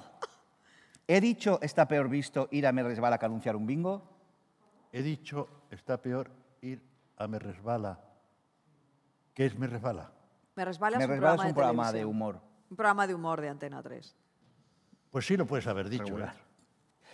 Verdadero. Bien. Verdadero. Me, te voy conociendo. me compré el Supertele durante años porque era la revista en la que quería salir. Eh, Si era al comienzo, pues también me lo creo. Bueno, verdadero. Y, los- Verdadero. y lo sigo comprando. Lo sigues comprando. Por Bueno, culpa de mi amiga Felipa. No sé dónde estarás, Felipa, pero desde aquí te lo digo. Es que ella se compró el número uno del Supertele, que la portada era Jesús Vázquez, y me decía, ¿tú dónde vas a ser actor con lo feo que eres? Mira a Jesús Vázquez. eh". Y estaba en el número uno. Y le dije, Felipa, voy a comprar el Supertele toda mi vida hasta que salga yo en la portada y un día te la enseño. Y cuando salí en la portada del Supertele, que me costó 17 años salir, fíjate que soy, cabe- soy cabezón, pero es que tengo resentimiento dentro que hasta que no lo consigo tal. Cuando salí en la portada se la enseñé. Le dije, mira, Felipa, me fui hasta Lavapiés a buscarla, que es cartera. Felipa, que es cartera, además. Le dije, mira, Felipa, ¿te acuer-?" Y ella, ella decía, ¿qué dices? Ni me- ella ni se Ni acordaba. se acordaba, claro. Es lo que tiene ser resentido, que soy yo el resentido. Pero bueno. Venga, Seis, ¿verdadero la o falso? Si no llega a ser por la tele, estaría debajo un coche. Pues también verdadero. Sí, verdadero. Esto es un poco exagerado, un poco folclórico, Pero lo has dicho. pero lo he dicho. Em, em, ¿Está ya todas? Sí. Vale. Y ahora le toca No se a levante usted, Miguel. Ahora yo le pregunto a este. Sí. Prepárate. Me he comido, me he comido un rato del programa. No, no de- pasa nada, no pasa nada. Eh, Miguel, eh, ahora que lo pienso, eres muy pesado. Sí, sí, perdón. Bueno, a ver, escúchame. va. Eh, ¿En qué película no he estado? Le llamaban JR, sé infiel y no mires con quién, yo soy esa. Ajá, Uy. complicado, Las ¿eh? he puesto complicadas para... Le llamaban JR. Le- la tienes no- ahí, no gírate, con cariño. quién. Le llamaban JR. Sé infiel y no mires con quién. Yo o yo esa. soy esa. Mm. No tienes todo la, toda la noche, Exacto, ¿eh? no tienes toda la tarde. Ostras, venga, pues voy a decir que no has estado en. Eh, ¿Sé infiel? Prueba no superada. Ah, No ha Joder. estado en Yo Soy Esa. En Yo soy esa. ¿No has estado en Yo soy esa? No, yo hice la otra. Con Ah, esa era la trampa, es que yo lo Ah. recordaba con, la, con Isabel Pantoja. Ah, la pantoja. por Tú eso la he con Marlon puesto. Brando y yo con la pantoja. Por eso le he puesto. y con el Fari. Bueno, Segunda pregunta. segunda pre- pregunta. ¿Qué tuit no es mío? Hombre, hombre. antes las mujeres se callaban, por eso no las mataban. Ayer, en una céntrica calle de Madrid, unas señoras compraban algo a unos manteros. De improviso apareció la policía que en un instante desmanteló el chiringuito de los manteros y se los llevó detenidos. A las señoras no. Me lo expliquen, por favor. Con la libertad siempre y ahora con el heroico esfuerzo del pueblo cubano para acabar con la criminal dictadura comunista de La Habana. ¿Cuál no es tuyo? Sí. ¿La tercera? ¡Bien! Sí, además es de Germán Tretz. Por eso. Eh, la primera, lo de la pantoja, me ha. Me ha Claro. Sabía que había hecho una con la pantoja, fíjate, la pantoja ha hecho dos, pero. Ah, Se venga. siente. Se siente. ¿Verdadero o falso? Venga, Yo he dicho, tengo el ego metido en lejía. verdadero. Eh, ¿Me lo has oído decir, puñetero? Sí, es muy bonita esa frase. ¿Verdadero o falso? Internet es genial, los imbéciles somos nosotros. Mm, ¿Verdadero? Hombre, claro. Pero vamos. Un aplauso para esa frase, sí, sí. ¿Verdadero o falso? Mi sueño sería que me invitaran a participar en Supervivientes. Falso. Hombre, Falso. Muy ¿A bien, quién os conocéis fenomenal. Os conocéis Sí, fenomenal. hombre, conocerse toda la biofilmo Esto me ha gustado imposible. mucho, me ha Sí, gustado mucho. Qué chulo. Decidme una cosa, mm, ¿cómo se hace uno invulnerable a una mala crítica? A una mala, Crítica. porque hay que ser invulnerable. Bueno, ¿cómo resistes? ¿Cómo no te duele? ¿Cómo no mm, te hiere? Si tienes razón, A mí me hieren. Ya, ¿cómo lo sabes que tienen razón? porque estoy de acuerdo. Pero imagínate Sí. que tú estás orgulloso de algo que has hecho y hay un consenso que piensa que no. ¿Cómo se hace eso? Yo es que no, no, no se me ha dado el caso. No. Miguel lo lleva todo muy bien, yo no. ¿Perdón? Ya veo. Que ya. no, que no, que me gusta mucho porque es Porque tú verdad. lo ¿eh? llevas y todo muy aparte que bien. lo he vivido con él durante todo este tiempo. Yo no, yo lo llevo fatal. Mira, por ejemplo, los asquerosos. Nos han hecho 100.000 críticas maravillosas, pero no maravillosas, Lo siguiente. lo siguiente. Y las primeras, los primeros días era como de genialidad, de no sé, bueno, co- cosas fantásticas. cosas yo creo que eh, es una obra bendecida de todas las cosas buenas que han dicho. Hubo una crítica mala, una. De- y, eh, y la- y lo llevas fatal. Bueno, una, la del país, eh, Esther Virales. Y de repente, o, o Raquel, ¿cómo me acuerdo cómo se llama? Perdón, es que no Raquel tengo filtro, no tenía que, no tenía que decir No ni el periódico ni la ¿no? periodista, pero no pasa nada, No ¿eh? sé no lo digo es. tal. Me puse negro, lo pasé fatal. ¿En serio? Lo pasé fatal, sí, porque ¿sabes lo que pasa? Que los, los actores, bueno, los actores, las personas en general, eh, en general, yo tengo una tía pastelera, sabe cuándo ha hecho bien los pasteles, yo es lo que construye y tengo tal, y, y- y una abeja que trabaja en el mundo de la aviación y sabe cuándo el vuelo ha salido bien y. Todo- todos sabemos, yo creo, a no ser que estés un poco atrofiado, cuando las cosas las has hecho bien o mal. Entonces, cuando te hacen una crítica de algo que has hecho mal o regular o de algo que puedes hacer mejor, tú lo notas y esa crítica te fortalece y te ayuda porque te anima a seguir y a hacerlo mejor. Hay algo donde se iguala todo. Dices, joder, según que no sé cuántos tal, digo, ah, pues es verdad, tengo que mejorar en esto. O tal, sí. Pero cuando la crítica está hecha desde un sitio que notas el juicio de valor, lo subjetivo, las ganas de destruir, el machaque, lo feo, el, de- el deseo de ser la nueva Carlos Bollero o el nuevo no sé qué, cuando notas todo eso, te da mucha rabia porque no se puede responder a la crítica. No hay, no hay crítica a la crítica. Lo que pasa es que yo creo que tenemos que tener claro que esto es subjetivo. Yo conozco, ayer precisamente en una cena estábamos hablando de actores por, otro, por alguna cuestión que no viene al caso.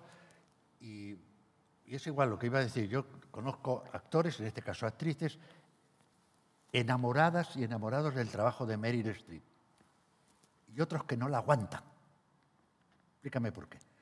Hay veces que vamos al cine juntos algunos amigos y es frecuente de la misma edad, parecida formación, grupo estético, de gusto estético, intelectual por el estilo, y es frecuente que uno salga diciendo, vaya pestiño, ¿eh? vaya, pe-", y el otro diga, no me digo, yo la voy a volver a ver, es maravillosa. Es que de pronto yo voy a funciones de teatro y digo, pues a mí no me ha gustado nada, me ha pillado con la guardia baja o al contrario, pues a mí me ha gustado, ¿que te ha gustado pero- esto? Pero, eso, Sí, pero bueno, tienes eso es que una- estar muy claro. seguro de ti mismo y la invulnerabilidad es algo que tienes o no tienes, Miguel. Y hay gente invulnerable y gente que no. Y si eres vulnerable, te jodes en esto. Hombre, yo, no lo- claro. yo, desde luego, no lo tengo. Y en eso me pasa que nunca seré. Con- mira que lo he intentado con el tai chi, con los chinos, que dicen que te guste tu profesión, lo justo, no demasiado. Sé feliz, pero no mucho. Porque cuando lo llevas en el alma y te ¿Tai gusta. chi mu- hace eso? Sí, como que las- el, el- No la- sabía, el- ¿no? el imaginario chino es Vale. que te gusten las cosas, pero no mucho. Ay, pero para eso, que no, ese comedimiento a mí tampoco. para no llegar tampoco a sentirte culpable ni sentirte invulnerable. Ya. Entonces, por ejemplo, en nuestra profesión hay, gente que llega muy lejos si no ama mucho la profesión. Esta gente que se ha hecho, está lleno la profesión de actores que se lo han hecho por casualidad, que han conseguido no sé qué, qué tal. La gente que ama mucho su profesión, muchas veces por amarla tanto se ha confundido, se ha vuelto... Oye, bueno, yo tengo un mogollón de actores que no trabajan, que no han pasado del teatro indie y aman su profesión más que nadie, pero por amarla tanto, lo sufren también mucho. No sé si me estoy explicando. Totalmente. Pero, pero volviendo poco- un poco atrás, también desde mi punto de vista, la crítica en general, no sé tanto la televisiva, que no la sigo y eso, es que es muy precaria. Sí. Es que está solucionada con dos párrafos y no tiene ningún valor. Me encuentro con muy pocas críticas serias. Sí, pero... Incluso Yo, del más mítico que una tan- crítica, por eso sabes tanto. pero más que una crítica en un, en un periódico y tal, hablo también de una especie como de consenso, ¿no? De, que, de lo que opinen de ti, de cómo valoran tu trabajo, etcétera, etcétera, ¿no? Que hay gente que resiste mejor, pues tú a lo mejor tienes más entereza, más seguridad. Tiene en ti mucha mismo. entereza, Es Miguel. que tú tienes mucha entereza. Mucha, Miguel. Mucha, o sea, mucha entereza, tengo un montón. Pero, que, ¿y, cuando, y, cuando, ¿y cuando te hacen una crítica buena y tú sabes que estás como el culo? Ya, No, también sabes que También. no. También sabes que no. Este idiota como que dice que... ya. ¿pero ¿Qué? Sí, sí. Claro, pones en duda todo. Y ahora, y ahora hay otra cosa que se añade a la mala crítica y a la buena crítica, y es lo políticamente correcto, lo no ofender y seguir la corriente. Ahora está lleno de grupos, de subgrupos, grupos de subgrupos de poder, que si un actor o una actriz es bueno, todos lo ven bueno, todos la ven bueno, Es si un músico se lleva, todo el mundo lleva ese músico, si tal y cual. Hay como esa cosa. Hay que tener mucho cuidado porque luego se vuelve a la contra. Todos los que aman a tal pianista porque es el mejor, de repente alguien empezará a decir que no, no es tan buen pianista y ya a nadie luego le gusta. Eso es otro capítulo. Dejadme que, que veamos, eh, tenemos un par de saludos de dos actrices que os quieren mucho a los dos, que también son amigas comunes y que a mí personalmente me gustan mucho. Vamos con A ver, qué, el- sorpre- qué sorpresa. una de las primeras. Da igual, Pepe, tírame la que quieras. Esta, Ay. mi amiga Pilar, Pilar Castro. Hola a todos. Hola, Uy, no se oye. A Mariola, Ah, vale. a Miguel. Un beso secun. Bueno, pues nada, quería decirte que nosotros eh, nacimos juntos en esta profesión. Nuestras vidas han ido, han estado muy cercanas, personal y profesionalmente. Es con la persona, yo creo, que más me río cuando trabajo con ella. Tiene un don. Eh, el don es de las personas más creativas y originales que, que conozco. Es muy luchador, muy perseverante y le necesitamos en el cine, en la televisión y en el teatro. Espero coincidir muy pronto contigo y, y nada, que, que os lo paséis muy bien y que triunféis en Alicante. Un beso. Pero qué maja Pilar. Pilar ¿no? es encantadora. Y vamos al último. Es como una hermana, ¿eh? Es una hermana. Es una hermana. Es una hermana. Esta es la que se ha flipado. Yo le pedí un vídeo y ha hecho lo que le ha dado la gana. ¿Qué es esto? Ahora lo verás. ¿Quién será? Pues este sí que sería un excelente vídeo para mi amigo Secund de la Rosa. Es muy probable que el sonido sea un mojón. Pero mira, gracias a nuestra profesión, que tiene cosas muy bonitas, tiene cosas menos bonitas y tiene cosas muy feísimas, pues tiene conocer sitios, conocer gentes. Y mi profesión también me llevó a Secun, que nos llamamos primas. Y Secun y yo somos como la profesión. Hemos pasado de todo. Momentos buenos entre los dos, momentos buenísimos, momentos feísimos. Y los feos siempre estaban relacionados a porque estábamos lejos el uno del otro. Y ahora creo que estamos en el mejor momento de nuestra vida, como creo que está él, que está en el mejor momento de su vida, de su creador, de su actor, de su seguridad, de su vida personal, en la que también tiene mucha suerte. Sekun es una persona que admiro, que respeto y que me encantaría, me encantaría siempre estar en su parte del sol. Te quiero, Sekun. ¿Quién es? Candela. Candela Peña. Ah. Pero la tía se graba el vídeo sin salir ella. Le digo, pero Cande, cariño, no, que le va a gustar así. Mira, ¿sabes lo que pasa? Me voy a sincerar un momento. Y he dicho, pues nada, este Ah, vídeo lo- vamos lo a hasta ahora era No, mentira todo. No, pero voy me, voy a sincerar toda- me voy a sincerar todavía más, porque somos pocos y bien ha venido y hay que agradecer tanto a, a los, que, hay- los que habéis venido que creo que hay que entregarse de, de verdad. Hay que convertir la, como yo siempre pienso en mi, en mi foro interno, hay que convertir la anécdota en vivencia. Que se convierta en vivencia. Cuanta más vivencia y menos anécdota, mejor. Pues de repente, ¿sabes lo que ha pasado? Que yo me he equivocado tanto en la vida por esto que decía de, de invulnerabilidad, que no sé cómo reaccionar, que de repente me tocó una obra con cuatro machirulos y yo no sé cómo relacionarme y me voy, pero a la vez quiero hacer la obra y entonces la hago. O sea, una mezcla de equivocación, de cabezonería, de errores. ¿Y sabes quién lo ha pagado? Mis amigos, a Pilar y Candela y, bueno, y David y Aitor y tal, han aguantado unas cosas de mí, unas cosas que no sé cómo, cómo han podido aguantarme, porque yo he sido muy, muy fácil y muy amoroso, pero a la vez muy equivocado.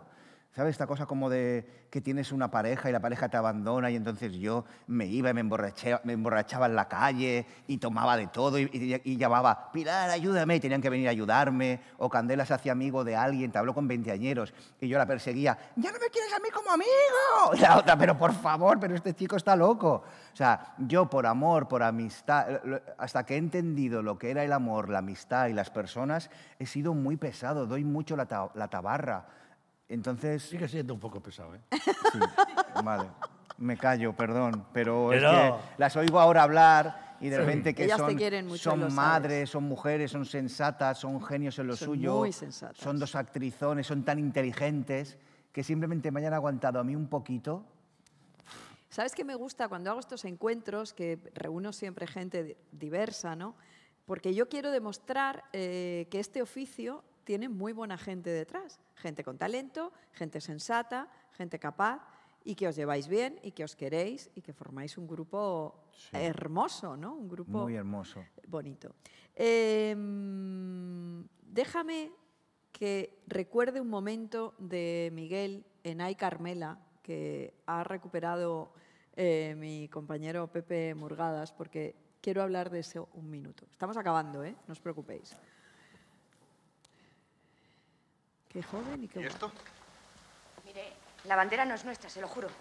Nos lo habían prestado para hacer un número. Un número que no tenía ni gracia, ni chiste, ni Cristo que lo fundó. Deja en paz a Cristo. Sí, señor. Dejado está. Cosas del mando republicano, de los rojos, perdón, la, la bandera digo.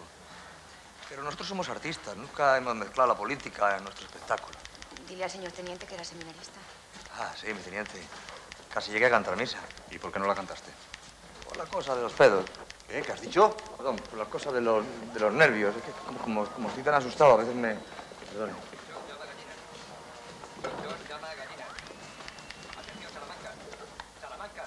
No estáis en la zona roja. ¿Ordena algo más, teniente? No, tus órdenes. Teniente coronel. Atención, Salamanca. Aquí el Estado Mayor quiero No estáis en la zona roja.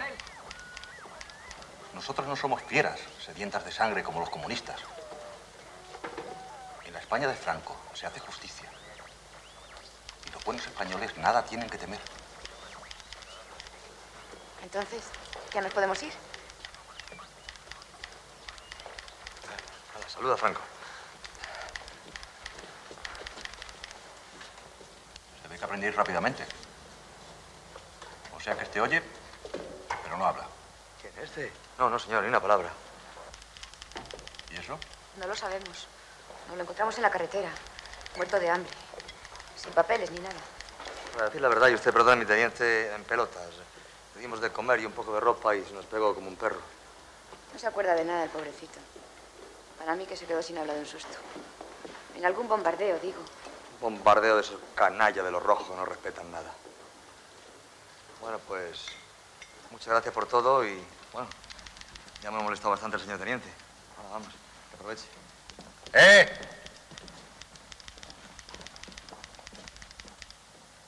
¿Y se puede saber a dónde vais? A buscar la camioneta, claro. Ya.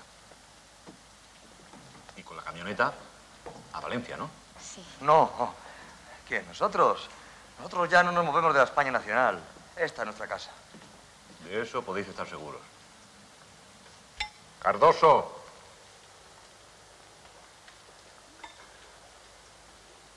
¡Cardoso! A sus órdenes. Estos pájaros. A la escuela. ¿Cómo que a la escuela? Sí, mujer.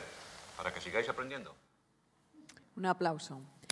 Eh, ¿Qué miedo da esta escena? Miedo, ¿eh? Sí, ¿eh?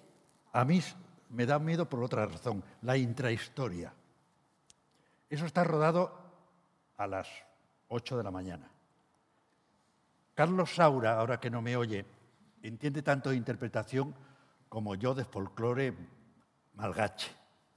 Y entonces, yo, sí, sí, que la vamos a hacer, además él lo reconoce, ¿no?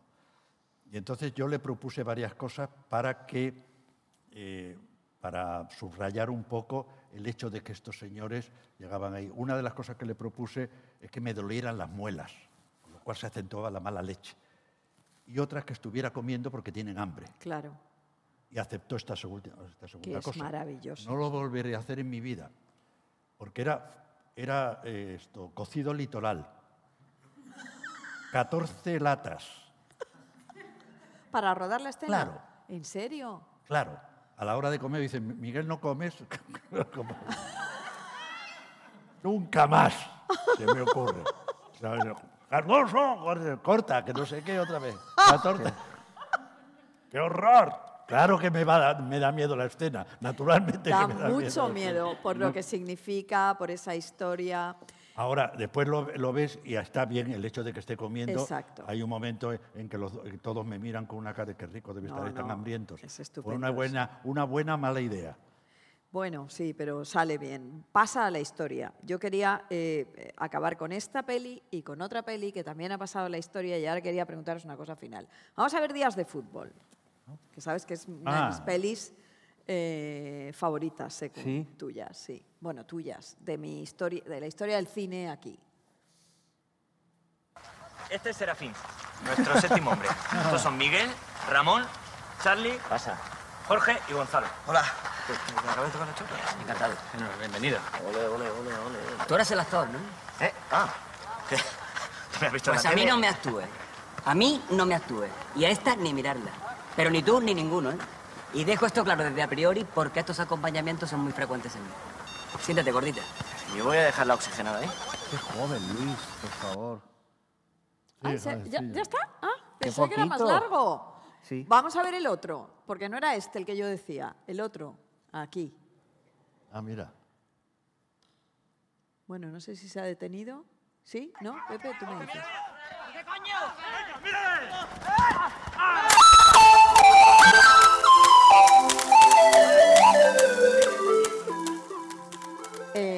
tenemos problemas, ¿no? Da igual, Pepe, déjalo. Bueno, se ve. Bueno, yo, eh, ¿qué quería, qué quería...? No, nos lo llevamos, Pepe, no te preocupes. Eh, es que, Roberto, claro, el elenco Roberto. este es, es maravilloso. ¿Qué tal le das tú al fútbol? ¿Eh? ¿Qué tal al fútbol? ¿Tú qué tal? Pues aprendí mucho con, eh, en esta peli. No, no, no, yo era de los que no bajaban al- recreo y me pegaban y todo para que bajase, porque como cuando bajas al recreo, no sé, los no sé los colegios de ahora, pero en mi época era a un lado del recreo los chavales jugando al fútbol y al otro las niñas jugando a las gomas. Y yo no, no me apetecía ni jugar a las gomas ni al fútbol, me apetecía otras cosas, charlar, reír, hacer tal. Entonces me quedaba en clase sin bajar al recreo Y de repente me obligaban los profesores, que bajes, que bajes al recreo. No, no me gustaban, lo pasé, hubo un tiempo que nada. Y se, y se metían mucho conmigo por esto, por el mundo del fútbol.